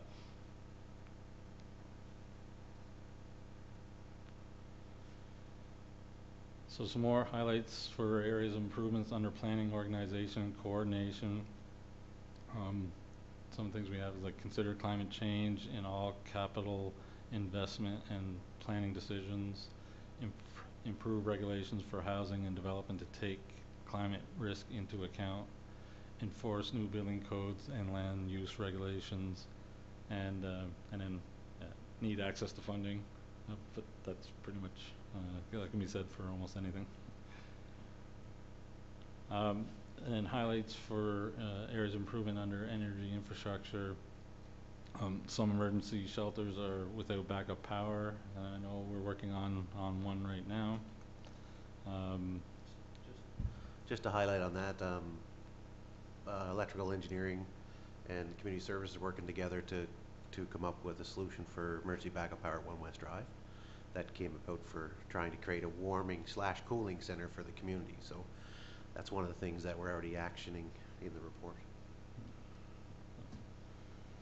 Um, uh, opportunity to work with utility to understand hazards and reduce risk from prolonged interruptions to power and fuel delivery. Unknown if flood risk to electrical uh, utility infrastructure has been fully assessed for one in a hundred year and one in two hundred year flood levels.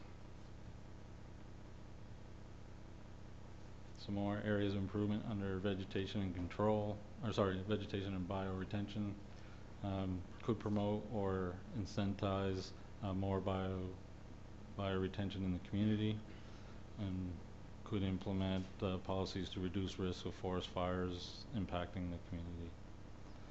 Underwater and sewage, um, we, the local uh, storm, storm sewers can handle one in ten years events, only major intersections can handle one in a hundred. Uh, there is a doubling of water to sewage during heavy rainfall due to inflow. Individual and shared wells are vulnerable to power outages. Some more areas of improvement for transportation. On a provincial scale, scale weather can interrupt access to mainland on uh, using the, the bridge or the ferry. Um, some neighborhoods with only one access road and um, the, the city does not have EV charging stations with backup power, and the port currently doesn't have uh, backup power. Under food, grocery stores and greenhouses do not have uh, backup power, and it's unknown as to how many days of food supply there is in case of interruptions. I, this past couple weeks ago, I've been in touch with the mayor of St. John's and Mount Pearl, known them for a number of years, and they had to deal with a difficult situation there. And but a state of an emergency can go from anywhere from a day to how many weeks. So uh, it's uh, you know to be prepared. Uh, there's so many things that you got to take into consideration, and uh, Hmm. it, appears from what I'm reading and Saw in the news, they handled their situations well, considering the dump of snow they had, but, uh, not necessarily just a snowstorm that something can throw everything off, you know, it can be a number of things that could be a state of an emergency. And, uh, but we feel we're ready here in the city to deal with whatever happens, whatever comes along, and we're always trying to improve what we have in place, and we appreciate this information. A lot of these things you're talking about, you know, we have in place, but, uh, our new CEA CEO was responsible for emergency situation if it ever happens, and let's hope it never does happen. But he's got all of these things, uh, that he's working on and, and, and knowledge about, so, and uh, keeping council informed of things, so. But anyway, we really appreciate this information too. I think we're getting near the end here now. Um, yeah, as, uh, what you were just saying there is, um, it, it does make, uh, perfect sense and, and what you'd have to think about, what, one of the things you have to think about that make sure we're ready is if that, if you had something like that happen all across Canada, then, you know, every province couldn't, um, declare a state of emergency, um, you know, you know what I mean? You, you, you wanna make sure you're ready in, uh, for worst case situation, worst case scenario.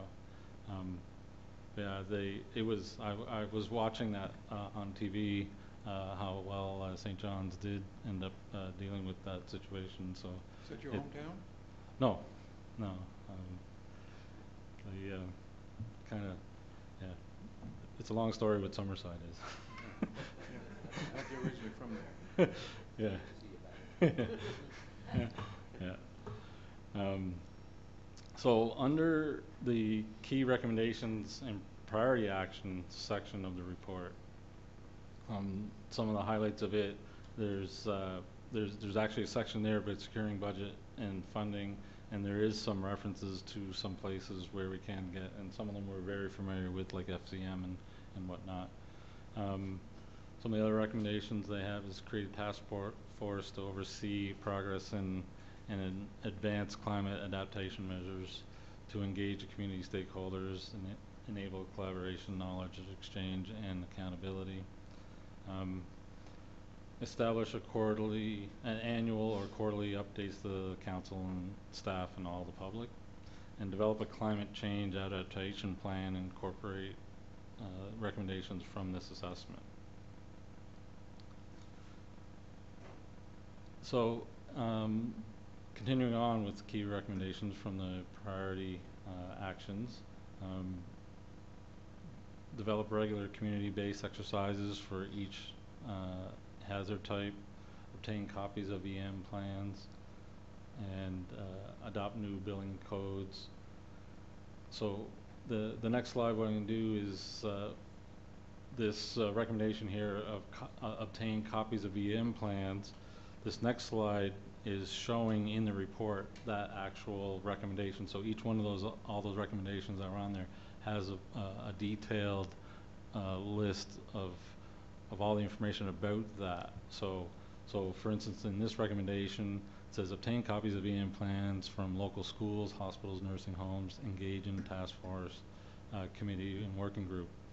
And the category uh, of the recommendation is planning and coordination. And what was said, so basically the what was said was information that was said either at workshops or, uh, or gathered from us during the, um, during the process. So Summerside does not have copies of EM plans for local schools, hospitals, and nursing homes. Participants noted, nor for campgrounds, RV parks, hotels, other organizations with large facilities, and also would need to provide the city's plans to these organizations. Um, who will lead, CIO with support this, with the EMO committee, and who to engage, shows there like the schools, hospitals, and nursing homes, and then what municipal plans uh, to leverage, not identified, but it could be referred to in the EM plan, and then it lists off some uh, poten- potential next steps, and I won't read read through those, and then the second part of that recommendation shows the, the time frame, um, the priority, and, and the cost. And they're, they're just on ranges. And then, and then what Quest did is they provided this uh, matrix for the next three years that you, annually you could revisit and just check off and, and, and have the, you can keep progress on, on each one of the rec- rec- recommendations. And you can, and, and again, like the, this is meant to be a guide, so the, um, all the recommendations, we might say, well, of them, we want to do these top ten or, or whatnot, and then we just kind of keep those, um, in, in mind. So, uh, I believe this is my last slide, so, um, the recommended steps, there's the EOMA, EOMO committee to review, uh, this resilient report. Parties should be agreed upon, and then, uh, look at funding and planning, and then review and update the report annually. And as I mentioned before, that, that note as part of this project, Quest will follow up each year for the next three years. And that's it. Thank you, Gerald. Any questions for Gerald?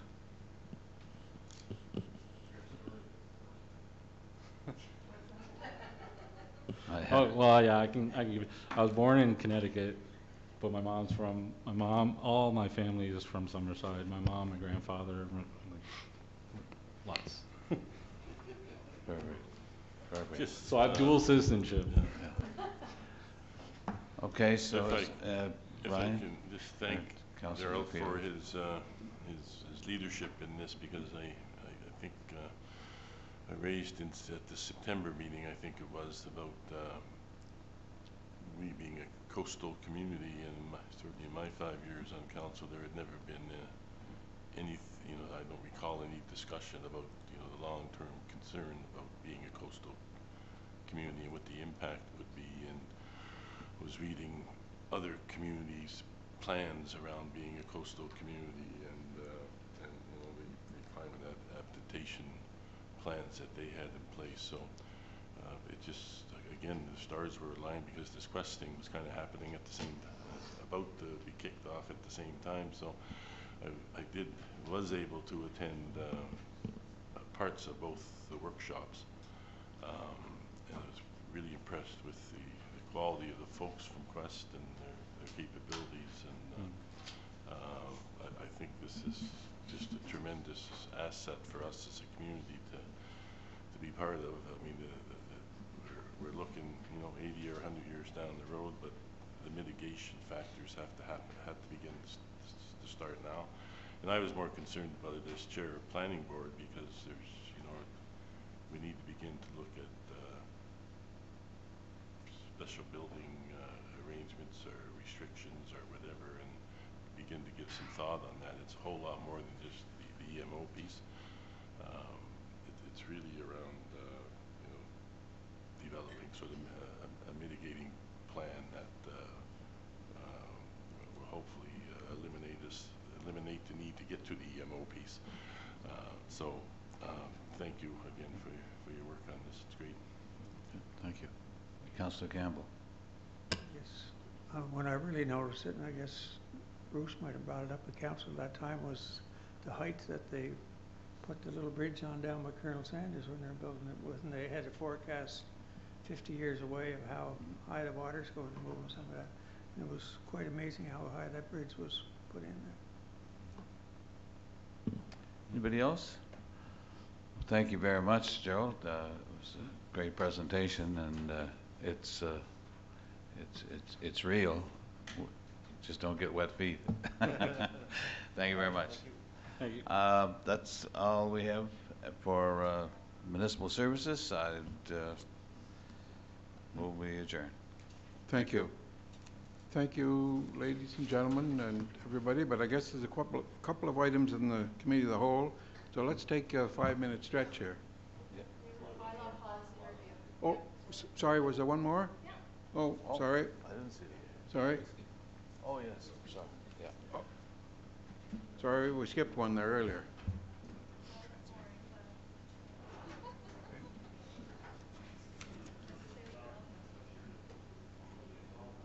Ian, Ian, I do have copies here if you want to mention that they're available. Okay, so we'll keep going. I'll call to order uh, Pol- Policy Bylaw Review Committee. That's all right, Your Worship. Um, An approval of the agenda. It's a recommendation for access to information and protection of personal information bylaw as well as records retention bylaw. And what I'm going to do is same as we did last time. I'm going to pass it over to Ian and CAO Rob, and you guys can walk us through it. Thank you, Councillor Adams. Madam Chair. Uh, Yes, we had, uh, I guess, the first reading of these proposed bylaws at our uh, last meeting, at the monthly meeting of council in January. Couple of uh, small housekeeping matters that we want to take care of here tonight, and I'll turn it over to Ian to walk you through those, and we'll go from there. Okay, uh, good evening, your worship, members of council. Just for the record, my name is Ian McCarville, article articled clerk with Key Murray Law, and I'm accompanied tonight by my principal, Derek D. Key, QC. Um, So my, my understanding with respect to the access to information bylaws, that there was a minor uh, clerical error made on, on my part, so I, I take responsibility for that in terms of the text of the bylaw that was presented to you. Um, If you we, we, do- I understand as well that there are copies, printed copies available in the room if anybody uh, wanted to take a look at those at this time. Um, So there was uh, noticed uh, an issue under the definitions section, Rule 2.1, uh, specifically under paragraph D, under coordinator. Uh, it had read, means access to information protection of privacy coordinator appointed by the council of the city pursuant to this bylaw. But actually, in the body of the bylaw, we have the, the, the CAO is being delegated with that authority to appoint the uh, access to information coordinator. So in terms of what would change between first and second reading, just for the purpose of consistency, uh, would simply be to remove the words council of the city under that definition and to replace it with chief administrative officer. Uh, So that was the thing that had been brought to my attention uh, before tonight's meeting, and, and I understood that there might as well be further questions or comments about potentially uh, whether or not there would be any amendments to the bylaw between first and second reading, which I'm, I'm happy to answer any questions. Um, Just in regards to that, can, is it added to it that the CEO or his designate? Or, because our CEO will be on holidays a couple of times a year or how, so, but that's an automatic built-in thing, I guess, anyway. I, th- uh, my understanding, I don't think necessarily it had to be built into the bylaw. Like Yes. normally, if, uh, if I'm out planning to be out of the office for a certain period of time, I'll certainly designate certain persons to act in my absence, whether it's for this or. So it doesn't have to be required in the wording. Right, and, and so under the regulations, your worship, it, it, it says the council will designate a coordinator, and in terms of preparing the first draft of the bylaw, uh, the decision had been made that the council would essentially delegate that authority to the CAO through the text of the bylaw, and that it will be up to the CAO to, to carry that out. Thank you. Oh,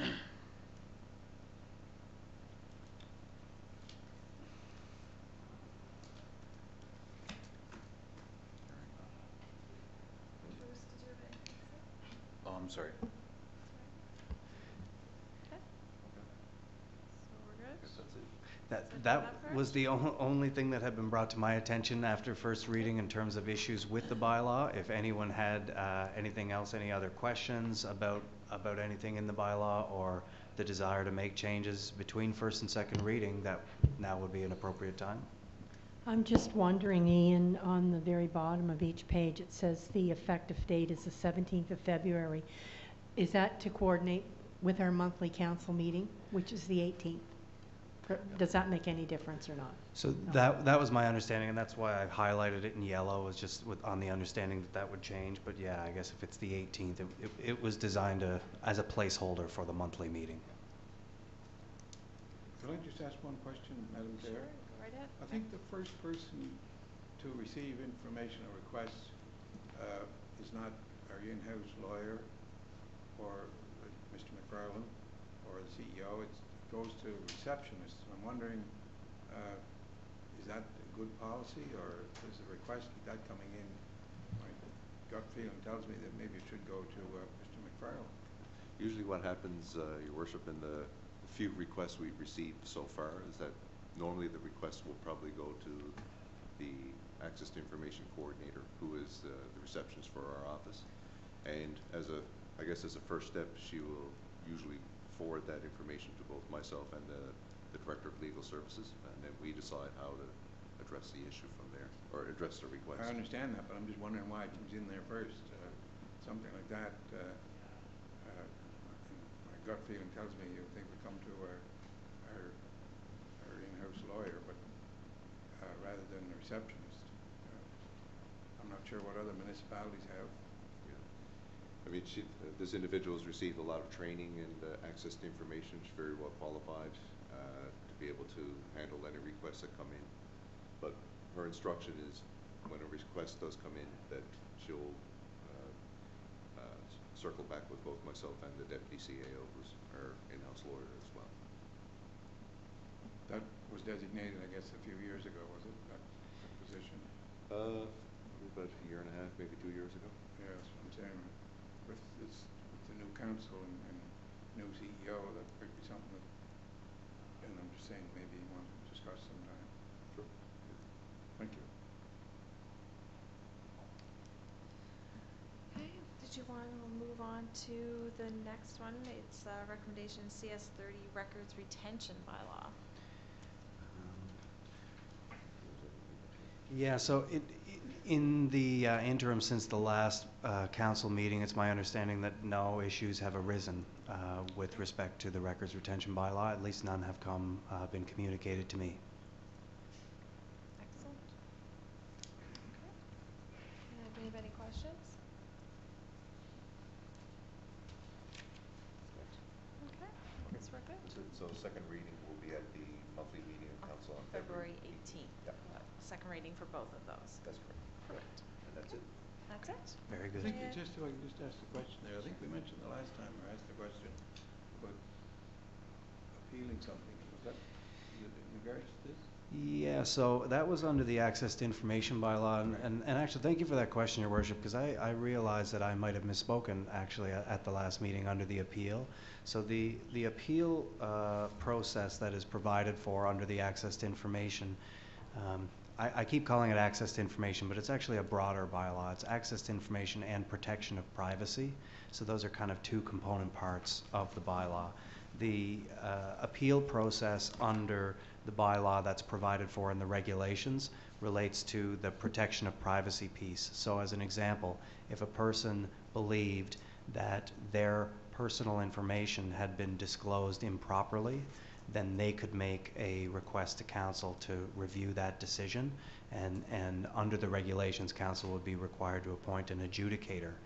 Now, under the access to information piece, when someone requests a record of the municipality, for example, and let's say the municipality said, um, you do not have a right of access to that record, uh, the person would still have an opportunity to appeal, but that appeal would be done under the Freedom of Information Act itself, and, and that, that uh, appeal would be done to the Privacy Commissioner as opposed to locally. Thank you. Excellent, okay. So if there's anything else, we're good? Okay, thank you, Ian. Okay, Appreciate it. thanks very much. Rob, did you have anything further, Rob? Did you have anything further for that? You're good? Yeah, you're good? Okay, I guess we've gotten to the end of the agendas then? Um, Or you have one transit is more? on, transit is on here next. We have one more Oh, item. one more, Good. Here comes the pitch. Um, Mr. CEO, the floor is yours. Actually, this was a, a question that was raised uh, by both uh, Councillor Adams and Councillor Snow about public transit in general uh, within the city. And there was some question, discussion about where we are with our transit service. Uh, Are we looking at ways to improve it, uh, that sort of thing.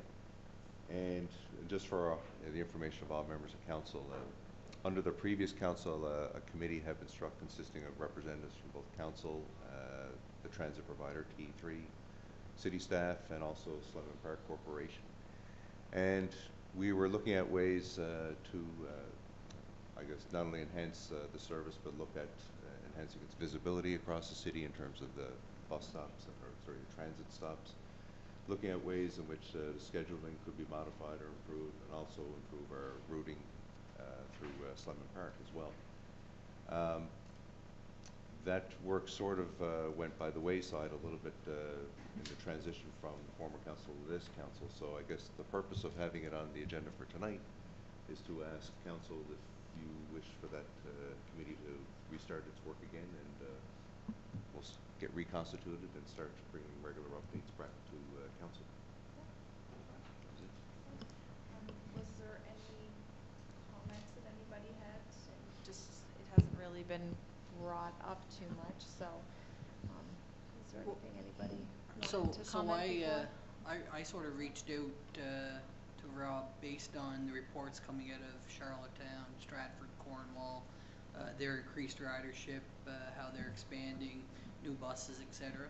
Uh, a- and, uh, often if you don't, uh, do stuff like this, you sort of get left behind, so that, that was where I was wondering, uh, where we stood with our current transit system, we are, we're also talking taxi bylaw and, and obviously getting around our city and is important for all our residents. So, so that's where this came from. And then when asking questions to the CAO, he informed me that there was previously that uh, committee that was struck. So, um, personally, I'm in favor of uh, us looking at getting that committee going again and ways to improve it and, and uh, maybe even tie in our, our neighboring communities of Kensington and and, and so on and so forth. Uh, But I, I think there's definitely work that needs to be done to improve our transit because currently I, I personally believe our transit lacks in a number of areas, i.e. shelters and so on, uh, identified route stops, et cetera. So, uh, i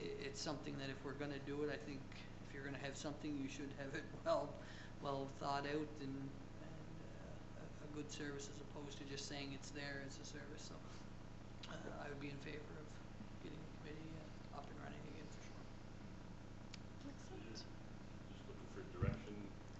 And uh, if, uh, if council is in favor of uh, reactivating that committee, uh, I know uh, Councillor Doiron had had some uh, uh, earlier discussions with the former CAO around transit in general, and uh, I guess my question would be to council, uh, would you want uh, Councillor Doiron to be the council representative on that committee, or would you like more representation uh, from council on the committee? Just asking the question.